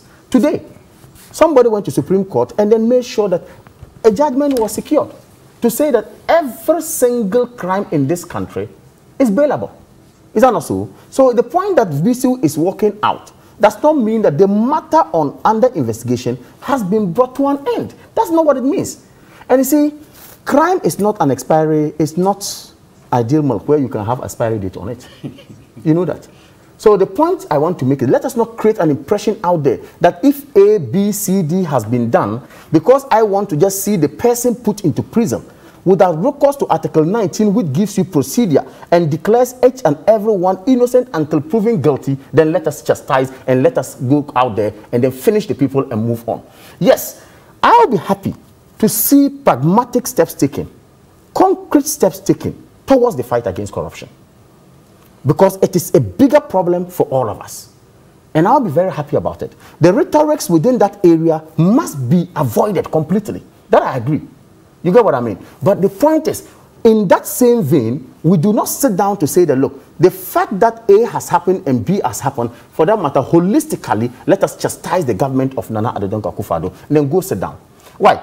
Yesterday, John Dramani Mahama was the president. Before him, there were other presidents. We are building a nation and coming forward. CSOs are out there and they are talking and it's good. Media is out there and they're supposed to be the fourth estate of the realm and of course keep us in check and it's good. Other institutions that are supposed to be built to help us get the fight of corruption put uh, on the banner is also good. Like for example, the SP. If we have gone through all this, gradually we're moving. But you see, we cannot throw our hands in despair. And then, of course, out of the blue, say, because this has happened, oh, it means that we cannot fight corruption. I think that is a very I, bad I don't think it's a case of we cannot fight corruption. No, we are the, fighting the, it. the perception is that there is no political will in this current administration uh, to fight corruption. Let me bring uh, in Dr. There will not be political will when, when, when, when, when we sit down and say that, look, let's put in place institutions that will make corruption a high risk, if you like, adventure to all of us. Then we do that, we go to parliament, we put them together, and then we ensure that matters are referred to them and investigated. What we ought to be doing now is to push such institutions to ensure that if a matter is brought before you, expedite action on them. Okay, so I'll hold you there. Uh, Dr. Asante, I know that at the time that um, Mr. Domelevo was pushed out of office. You were quite vocal about that. Kamal-Deen talks about having systems in place and having the organizations do what they're supposed to do. So yes, we have the Office of the Special Prosecutor, you have the Attorney General's Office, you have CHRAJ, uh, for instance, and all of that. I mean, are we just picking at the surface or this is really just about political will? Thank you and uh, good, good morning to everybody, uh, to your viewers. Uh, first of all, let me just just reiterate something that uh, for me, corruption is an existential threat to our democracy, our very young democracy, to our institutions. And there's a lot of things that have happened uh, in the last couple of years that has even weakened the, uh, the structures uh, for fighting corruption. And you know, I, I sometimes, uh, uh, you know, I, well, I, I, shouldn't say I struggle. I can understand where political actors come from when, when you know, uh, when you are in power, you see things differently. But if we don't tackle corruption, uh, we really risk uh, a lot of things and things that people have fought for uh, for many years to sort of restore this democracy and and try to build institutions that would deliver on, on, on the development process, you know, for, for the welfare of many Ghanaians. So uh, it's the kind of reason why we are we get agitated, and uh, we speak, you know, with passion about about corruption. The the a number of disagreements we, we I have. I, let me use let me say I because I think uh, I have with the president um, and I've had the opportunity at least twice uh, to sit across the table uh, and discuss these issues. And I think we have some fundamental disagreements about how he perceives issues of corruption. One of them, and if you read the president's defense of his commitment to uh, uh the anti corruption fight, it's around a couple of issues investment in the institutions, investigative bodies, prosecutorial bodies, and so on. The very same things that Kamal is Sure. referring to. Um, he's talked about how he's resourced the he resourced the Auditor General, resourced the the Attorney General, uh, CHRAJ, and others, so and so on. He talked about uh, savings that were made through the um, procurement, you know, some reforms around the procurement processes. He's talked about uh, the need to follow due process and so on. Uh, and I, every time, and this is this is the same defense that he has made since he made that statement. Uh, I think I was a Ghana Bar Association. Yeah, Ghana Bar Association. After the AB Adjei Yeah. Yes. uh, matter. Matter. right? And I think that it's not enough. The Chakra the Naval Base. It- yeah, it's not enough because you see, the outcomes don't match the investment. So, at the minimum, if you are putting money in something or you, you're pushing resources in something and you are not seeing the, the, the outcomes, the first thing, just from a public policy perspective, to ask yourself, ah, am I wasting my resources? Maybe it's not directed to, you know, uh, uh, to the right places. And why are we saying that? Look at the perception index over the last 10 years. We, the, the picture is one of stagnation. You maybe just make a notch up, you fall. You make a notch up, you fall. But we've not hit the pass mark ever for the last 10 years. Even before that, we've not hit it as a country. So when you want to measure whether or not, just from a perception point of view, there's no, the Afrobarometer surveys in terms of ranking of corruption, and these are ranking of perceived corruption of even the institutions that are mandated to fight corruption. Mm-hmm. So how, how are we even supposed to get there? So, and that has not changed. If you look at the Auditor General's report across, it has not changed. All right? So the outcomes don't match the investment. So at the minimum, we should ask questions. Is it that we are doing it wrong? Is it that we are not going further? If the president, if you have given people money, resources, and they are not producing the outcome, shouldn't you decide, okay, well, maybe you are not the right man for the job? Maybe we need to change something else. We are not getting that kind of conversation. Because if at the end of uh, Nana Akufo-Addo's uh, government, he says, my achievement is that I resourced uh, the anti-corruption institutions. And yet every indices tells us that our corruption uh, fight is stagnated. What, what, what's the legacy? So for me, that is where I have a trouble, uh, a problem with the president.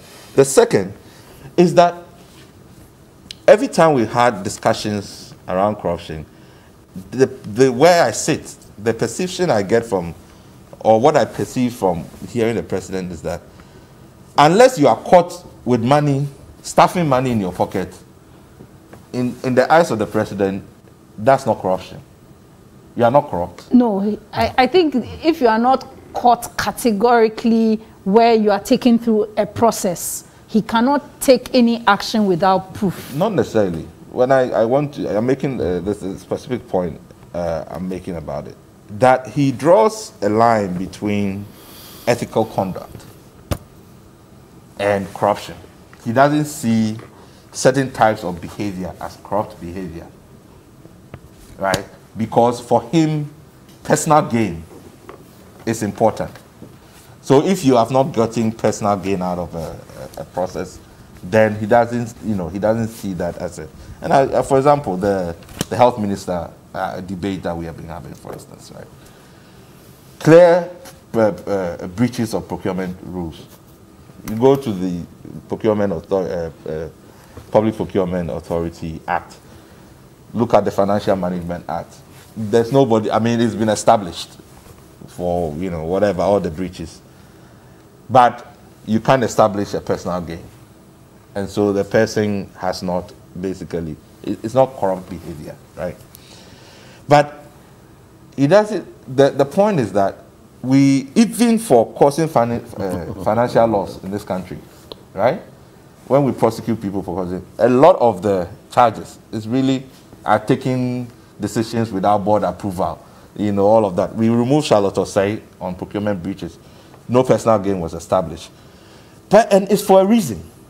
Because the starting point of corrupt behavior is conflict of interest, nepotism, influence peddling, and then if you're able to establish something in terms of whether the person, I'm like in the asking you ABN, wealth. ABN, ABN, AB Adjei's case, for instance, where there's clear evidence that he has profited from, from, from his, his, his transactions, and we are yet to see, you know, any action taken on that, right? Then, if you don't tackle, if you don't recognize how important it is to deal with that as a signal that this kind of behavior is not allowed, then it creates more perception that, oh, oh, I mean, if you know, if this is allowed, then if I'm at a district, uh, I'm a DCE at the district, uh, whatever, uh, uh, I can also do the same. And that is a fundamental problem I have with with what with what we are seeing with, with now. what we are seeing. And and and, Doc, just and, one second. And I I, want to- and no, I, I want to, I I want Doctor, Sure. just want clarity. Doc, one second. On the AB Adjei matter, Yeah. has it been brought to closure? but I have a problem also with that. it hasn't because been I have brought- and, and I'll no, come but out. it no. Yeah, okay. Come out, I'll, yeah. I'll, I, one of the one of the projects that uh, uh, we support is the Corruption Watch. Yeah. Since 2017, even cases that were pending before that, the AB Crenso case in the Standard Authority, that case was worked on even before uh, the NPP came into power. Uh, from that time, EOCO has investigated that case for forever. And still investigating. It's still investigating to the point that the Auditor General has gone back, you know, to cite that, that, that issue, you know. And you have many cases where it never is brought to a closure. The reason why Corruption Watch was actually brought was because from if you take, like, we never it close was cases. it was a way to kind Yes, of track and follow because the we cases. never close cases. And this is, has been the culture. So every oh, you go, we are investigating, we are investigating. But that is part of that if you want to fight corruption, You have to even close. that, Absolutely. there has to be some targets. Okay. I'll, uh, Edudzi, I'll come to you, but I just want to pick Dr. Graham's thoughts on some interesting things that um, Dr. Asante has raised. It seems our systems have suffered some weakness. Then there seems to be this dichotomy between what is ethical conduct and what is, you know, corruption. There seems to be a lack of fairness, though, and that then also has created a certain free for all. Do you think that may be the case? I mean, the in general, because of uh, the, the the culture around power, you know, that when you have power, it gives you a certain freedom, you know, to to to to engage in acts of patronage and allocation of resources. You may not benefit directly, as as could you explain, but you create a culture where basically you are using power, you know, in ways which are inappropriate. Because this is a corruption thing. He makes an important point about it's, it's not necessarily about personal gain. So let me take some examples about how, when it comes to, let's say, uh, uh, even decisions about where public resources will be spent. You go to certain parts of Accra, neighborhoods where some people in, in, in power live. Those things, they are better roads than people in, on the next street. Okay. Now that decision may not have been taken by the beneficiaries, but it's an example. People, you find those kinds of things when it comes to employment. Certain people are favored. The due process, open access of all citizens. It is generally known that all those things have been compromised. So, uh, so I think it's, it's important. And also the ethical part of, of, it, of, of the, the, the, the, the, the symbolism, therefore, what is okay to do when in power becomes kind of institutionalized. And I think the thing about, therefore, even the decision what to bring to closure in terms of, of, of, of uh, uh, uh, uh, prosecution and the method of also closure. When you ask for somebody to resign, and people say, no, no, this is not a resigning issue. All those things point to a certain perception that the threshold for accountability And we are defining accountability in a very broad sense. Mm. You know, and the standards that define accountability mm. are pretty uneven on one side and very low where it ought to apply. Yeah, and, and depending on where you are located yeah. politically. Yeah, and if I, right. you see, so, just, just, a, yes. just, just uh, two, just two points. Every case that I have looked at starts with conflict of interest, nepotism, influence peddling, all the the things that you basically say are just you know, ethical behavior. From you NCA case, you all of those things, right? But the thing about personal gain and within an, uh, a broader accountability spectrum is that people think personal gain is only about you. You, you benefit personally. No. If you are doing it because you want to favor a third party, you're not, it's not coming to you directly. There's a gain anyway. There's a gain. Because you, your, whatever that third party provides you, and it could be just uh, family, uh, emotional, you know, uh, satisfaction that you have helped the family. And yesterday, I was, uh, Friday, I was listening to a, a, conversation, it was yesterday, right? Uh, a politician was saying, oh, one of his achievements was that he was able to ensure the recruitment of uh, some of his constituents into the army and the police and all of that. And the, the interviewer says, ah, but that's corruption says, oh, but that, how can that be corruption? Forgetting that, why, is he, is, why is he doing that? Because he's using his influence peddling. Yeah, but he, he wants to win the next election. Mm-hmm.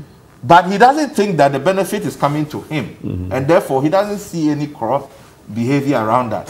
But he doesn't see that he being retained as an, a member of parliament is personal to him. All right, let me bring so, let me bring in uh, Edudzi. so Edudzi, looks like we have major challenges on our hands with reference to that, and one would have thought that the opposition would mount the pressure the same way pressure was mounted and saw some members of the previous administration resign. Um, we've not seen that kind of thing in this current setup. Resigning? I, I, I don't. Yes, the bus branding scandal. Dzifa yeah, uh, Tivo was forced to resign. Dzifa. Uh, Charlotte Osei was eventually removed. Mm -hmm. I don't want to continue. I think, okay. Dzifa, the, the well. question is always about the body language of the leader. The Akufo-Addo presidency appears to have taken, I don't care, whatever you say, posture. Look, this is a president in his inaugural address indicated that he's going to protect the public purse by insisting on value for money. The principal legal architecture for ensuring, you know, value for money, transparency, among other things, are the provisions of Article 1815 relative to transactions and the Public Procurement Act. What has been the conduct and posturing of this president relative to this enactment? The president got his attorney general to prosecute the NCA matter, correct? As we speak, the president is prosecuting matters on Cocoa Board, correct? Mm -hmm. Maslock, snakes, among other things, on alleged breaches of the Public Procurement Act and causing financial loss to the state. And in some cases, misappropriation. Which, now, and a lot of them all happen to be NDC appointees. No, all of them NDC appointees. Mm -hmm. In the past four years, of the Akufo-Addo presidency, a lot of procurement infractions have happened. And none of them is facing due process or going through criminal prosecution.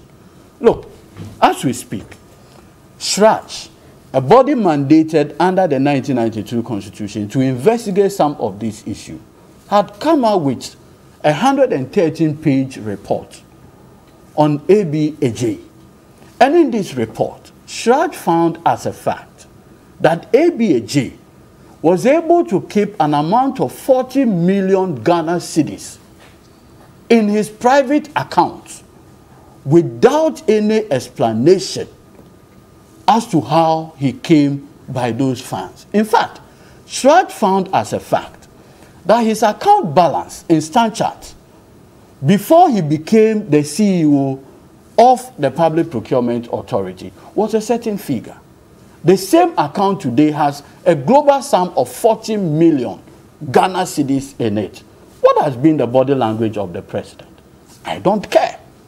Today, as we speak, the president, attorney general, got some people prosecuted, and there are seven prison terms in Nsawam over allegations that they breached the Public Procurement Act and causing financial loss to the state. Today, a parliamentary bipartisan committee has found as a fact that the president's minister of health had breached not only the Public Procurement Act, but the 1992 Constitution. When he had the benefit in somewhere in Bono region, he made mockery of the whole conversation. So our president speaks in one way, but his body language is facing the other side. We need to situate that conversation within the overall body language of the president. Listen, and I was listening to my, my, my learned senior here, when he made the point that, look, the president, anytime corruption conversation comes in, it's quick to say that I have resourced the agencies tasked to fight corruption, irregularities, among other things.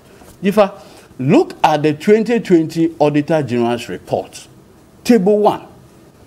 The Auditor General had found, as a fact, that the global sum of irregularities committed as of December 2016 is about 700 million Ghana cedis. Now listen, by December 2020, the amount of irregularities is now 12 billion Ghana cedis. And now this president has the temerity to talk about fighting corruption. So we need to have the conviction, even in terms of value. The, the level of irregularity, having resolved this organization, is now 12 billion Ghana cedi from 700 million. And you say you are fighting corruption. It is either the president is unaware or the country is on autopilot. Either way. Or it is also possible that public officers are not doing their job. No, Have that, you thought you see, about that? But you see, because ultimately Look, they carry see- that Hmm. responsibility. Let me let me let me give well. you a classic example. So, whether public 30 seconds, then- yes, then we'll whether public officers are in fact doing this. Look, when the president in the famous uh, Sputnik V conversation, when it came up, the president had an opportunity to say that I, Akufo-Addo, having gotten my attorney general to prosecute and put people in prison for breaching the Procurement Act, if there's evidence that my minister had breached the Procurement Act, what did the president do? He rather made it a laughing matter. Now, so if you have a president, repeating yourself. I don't know, but if you have a president whose body language suggests that he's not willing, classic example, Okay. Do, uh. I mean, you've given Okay. my co-panelist some time. I was going to come back yes. to you. But look at still. Domelevo's scenario, right? He is the auditor general. Under very bizarre circumstances, he's been made to go home because we are told he's 60 years, right? Then the president, who can ask someone to go on retirement because he's 60, had just appointed a 77 year old man as the executive director of Yoko. Oh, Where- I, I think he. I think he's left now. no, I think the I saw, current Mr. Dapa, he was just appointed less than a month. Okay. It was a dupo. Uh, It was the- okay, it was Edupoku's the previous- one is different. yeah. He just appointed Mr. Dapa, a respected lawyer, 77 years old, as the now executive director of Yoko. Where is the principal? Okay, I'll hold you there. Thank you very much. That's Edudzi Tamakloe there, and we're still here with our guests, Dr. Kojo Asante, Kamal Dean Abdullah, as well as Dr. Yao Graham. We take a quick break, and we'll be right back.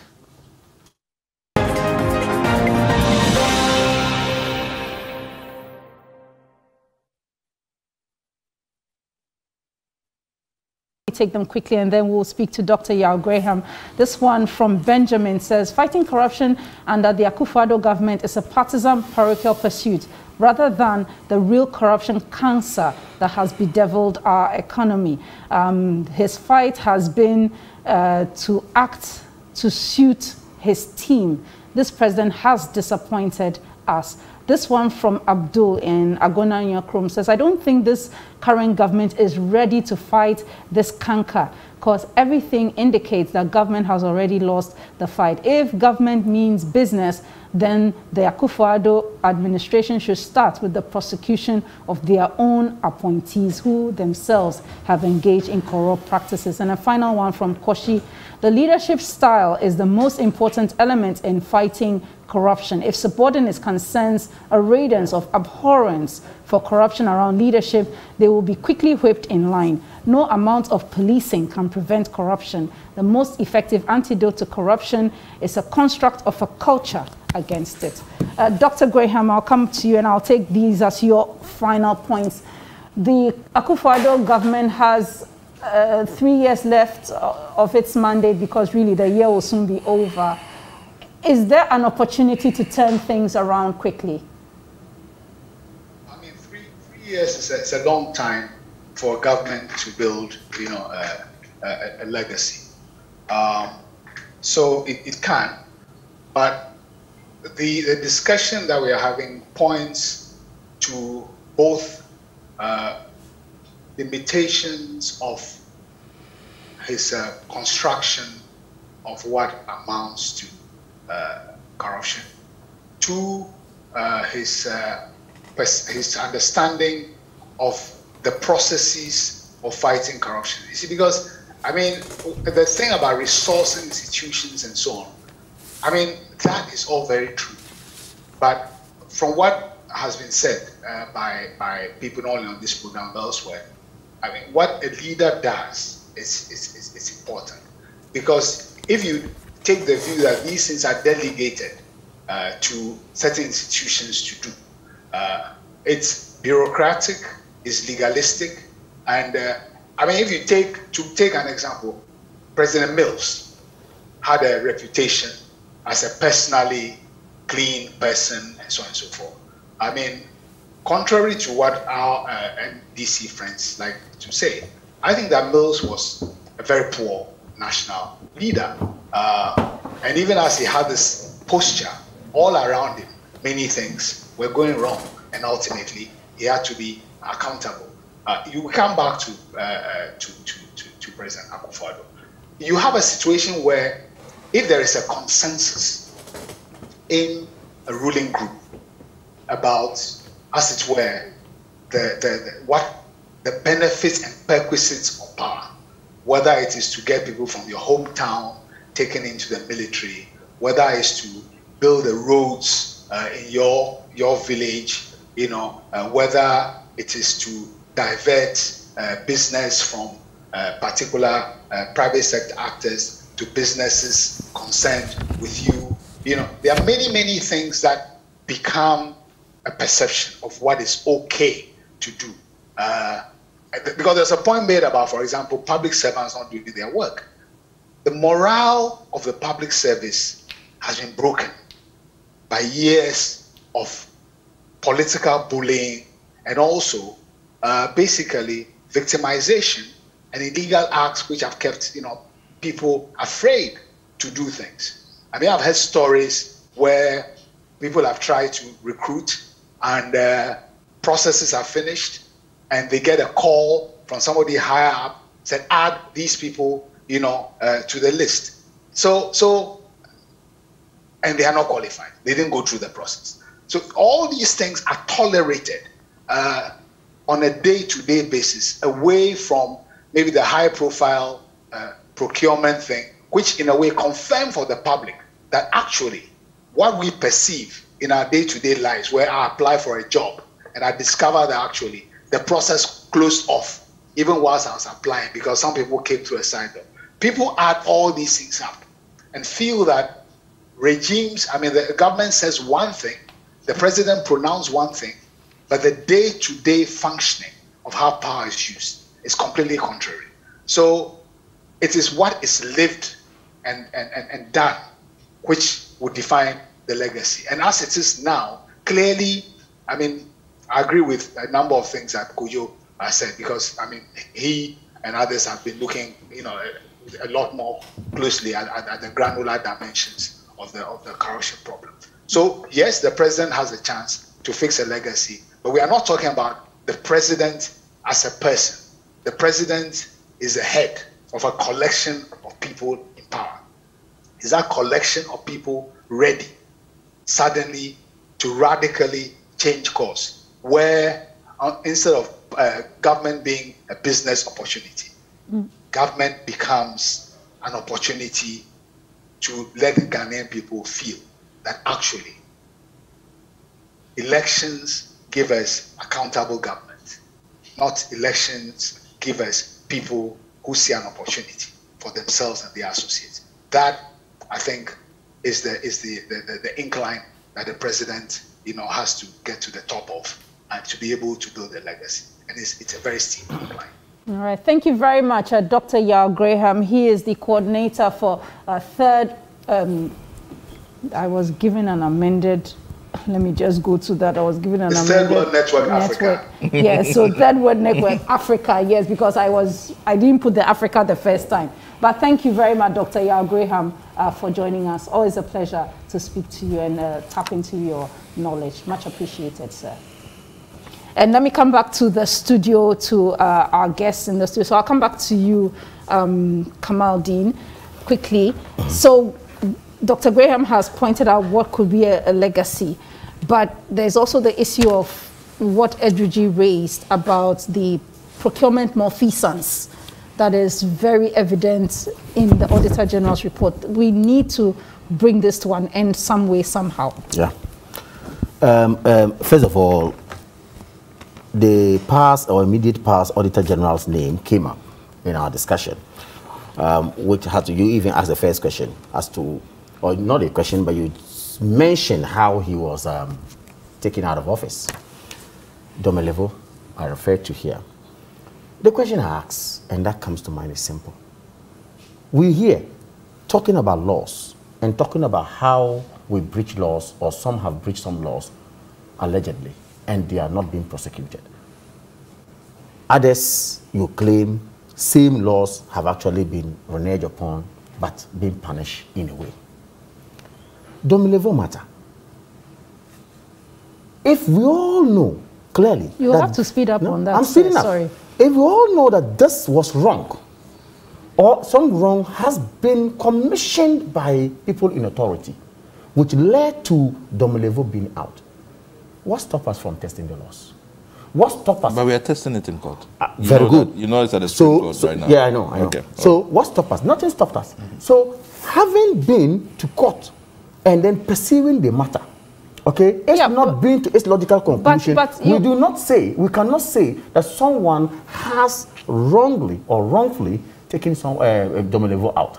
The point is that the argument is there to make, the court is here to make a pronouncement on the matter. Let's move Okay, on. but Now, why two. do you then appoint a 77-year-old person? So, Two. as Edudzi had pointed out, then- Dr. Graham made a very critical point. He used the word perception. He says all these discussions we are having hinges on perception, which is a very strong word in the corruption palace. That we all know that yes, when you come out to say there's some corruption out there, you perceive to say there's corruption. Okay? Then of course you have to prove it and back same with the evidence that it demands for measures to be taken as it were. My good brother Edudzi says it's about leadership. And it stops with the president.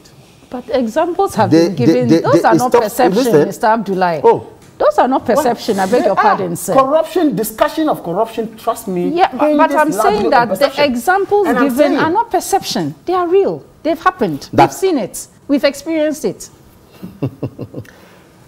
He says leadership is a problem and that the president of the republic has not shown leadership. Maybe yesterday John Dramani Mahama showed leadership. Clearly. Let's focus brings on me- the current We will focus on John Dramani Mahama. No, Equally, sir. he focus. No, we will focus on John He's Dramani not in Mahama. office Why? anymore. You've forgotten of. You've Yes. Edudzi. You see, I like I like the discussion of um, Doc. When Doc says, "Look, nepotism is part of corruption. You may not have gained directly, but maybe a third party gained. Essentially, there was a gain. Point I want to make: the Daniel Batidam late but Daniel Batidam, may he rest in peace, and the Ford gift or Ford bribe saga. You remember that? I remember you were the one interviewing him, or someone else on Joy. Okay. just when you mentioned that a Ford has been gifted or had actually been given to the president and by someone who has actually secured a contract under the same government, the line dropped. You and I know how that The went. line dropped. You and I saw Leadership, how that. leadership. You and I saw how that ended. The NDC lost that election eventually. So the point I'm just trying to make is that these things that we talk about, they are real. They are not perce- perception is where you you think that is happening. Maybe you've not directly experienced it, but these things have, have happened. Um, um, or Dr. So Asante, that, so, that, so that when you make a logical argument that the Auditor General's reports yesterday came up with some infractions that, of course, in summation will get some 500, 700 million Ghana cedis lost to Ghana. And today, the Auditor General report comes out to say that some 13 billion is lost. Then the conclusion is that there is much more corruption now based on the work that we have done. I could ask a simple question. Could it also be that yesterday, the scrutiny and the due diligence that we needed most from the auditors of such same report was lacking? Can I also make that argument? Logically. So you see, the point is that whether it's even one cedi that is actually misappropriated and not put right, Ghana stands to lose. Let's all fight it. Okay. Dr. Asante, Yeah. is there any hope for us? Because the- if the- there is 11 billion uh, mal- uh, corruption, I, I beg your pardon, procurement malfeasance, I'm not exactly sure where the hope Well, is. Dzifa, for me, the- we don't have a choice. And I think we are also running out of time. You see, pe- people do not count. I've been, I've been in civil society for 16 years. You know, people don't see the gradual erosion of trust in the state, trust in leadership as these things. You know, I mean, sometimes when we even do surveys and you see the levels of 88%, 90%, But, perceiving. but, but interestingly, the Afrobarometer surveys, when it comes to the trust Yeah. data, Yeah. the president and the military, Yeah. they are usually on top. But even that, you see dips. You understand? But you see, if if the whole and, and Dr. Graham made that point that people experience corruption at, at many many different levels. The society we are fighting for, what Kamal, his the, his, uh, children, you know, his children, and who want to live in that society, has to be one of merit.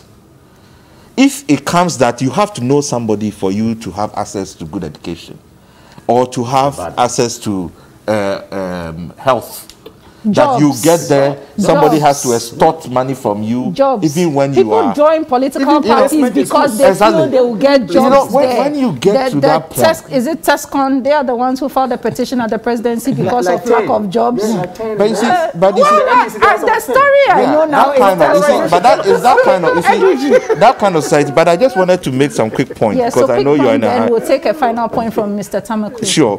So, how do we move forward? You know, the issue about ethics for me is important. Mm-hmm. And the code of conduct for public office holders, which comes to parliament and disappears, comes back. We have to, we have to return because you see, because the, oh yeah, yeah, I, it, it has been, it has been over a decade. Every time it comes to parliament, parliament, you know, run out, and then we have to start all over again. If we can codify it, it helps, so that people know that this is also against the law, and that will help. The issue around, uh, for me, the public financial management. You see, when the Auditor General's report comes, and the public financial make, gives the finance minister a lot of powers, you don't hear any directives, any signals that say, we have seen this type of you know cash irregularities, and therefore these are the instructions going to MMDCs and MDAs and so on. That from now, this and this measures we have taken. We have written to the Minister of Finance about this matter that there is no office there that does enforcement of financial uh, uh, rules. And they need an office that purposely set up to deal with that. Because if we don't do that, it just sends bad signals around that you can get away with it. All right. And that creates a, a real problem for us. All right, Edudzi, your final point. You see, I think that this whole thing, again, like I indicated, we need to focus on the body language again of the president. Because ultimately, the decision to fire or not to fire rests with him. The decision to prosecute or not to prosecute rests with him.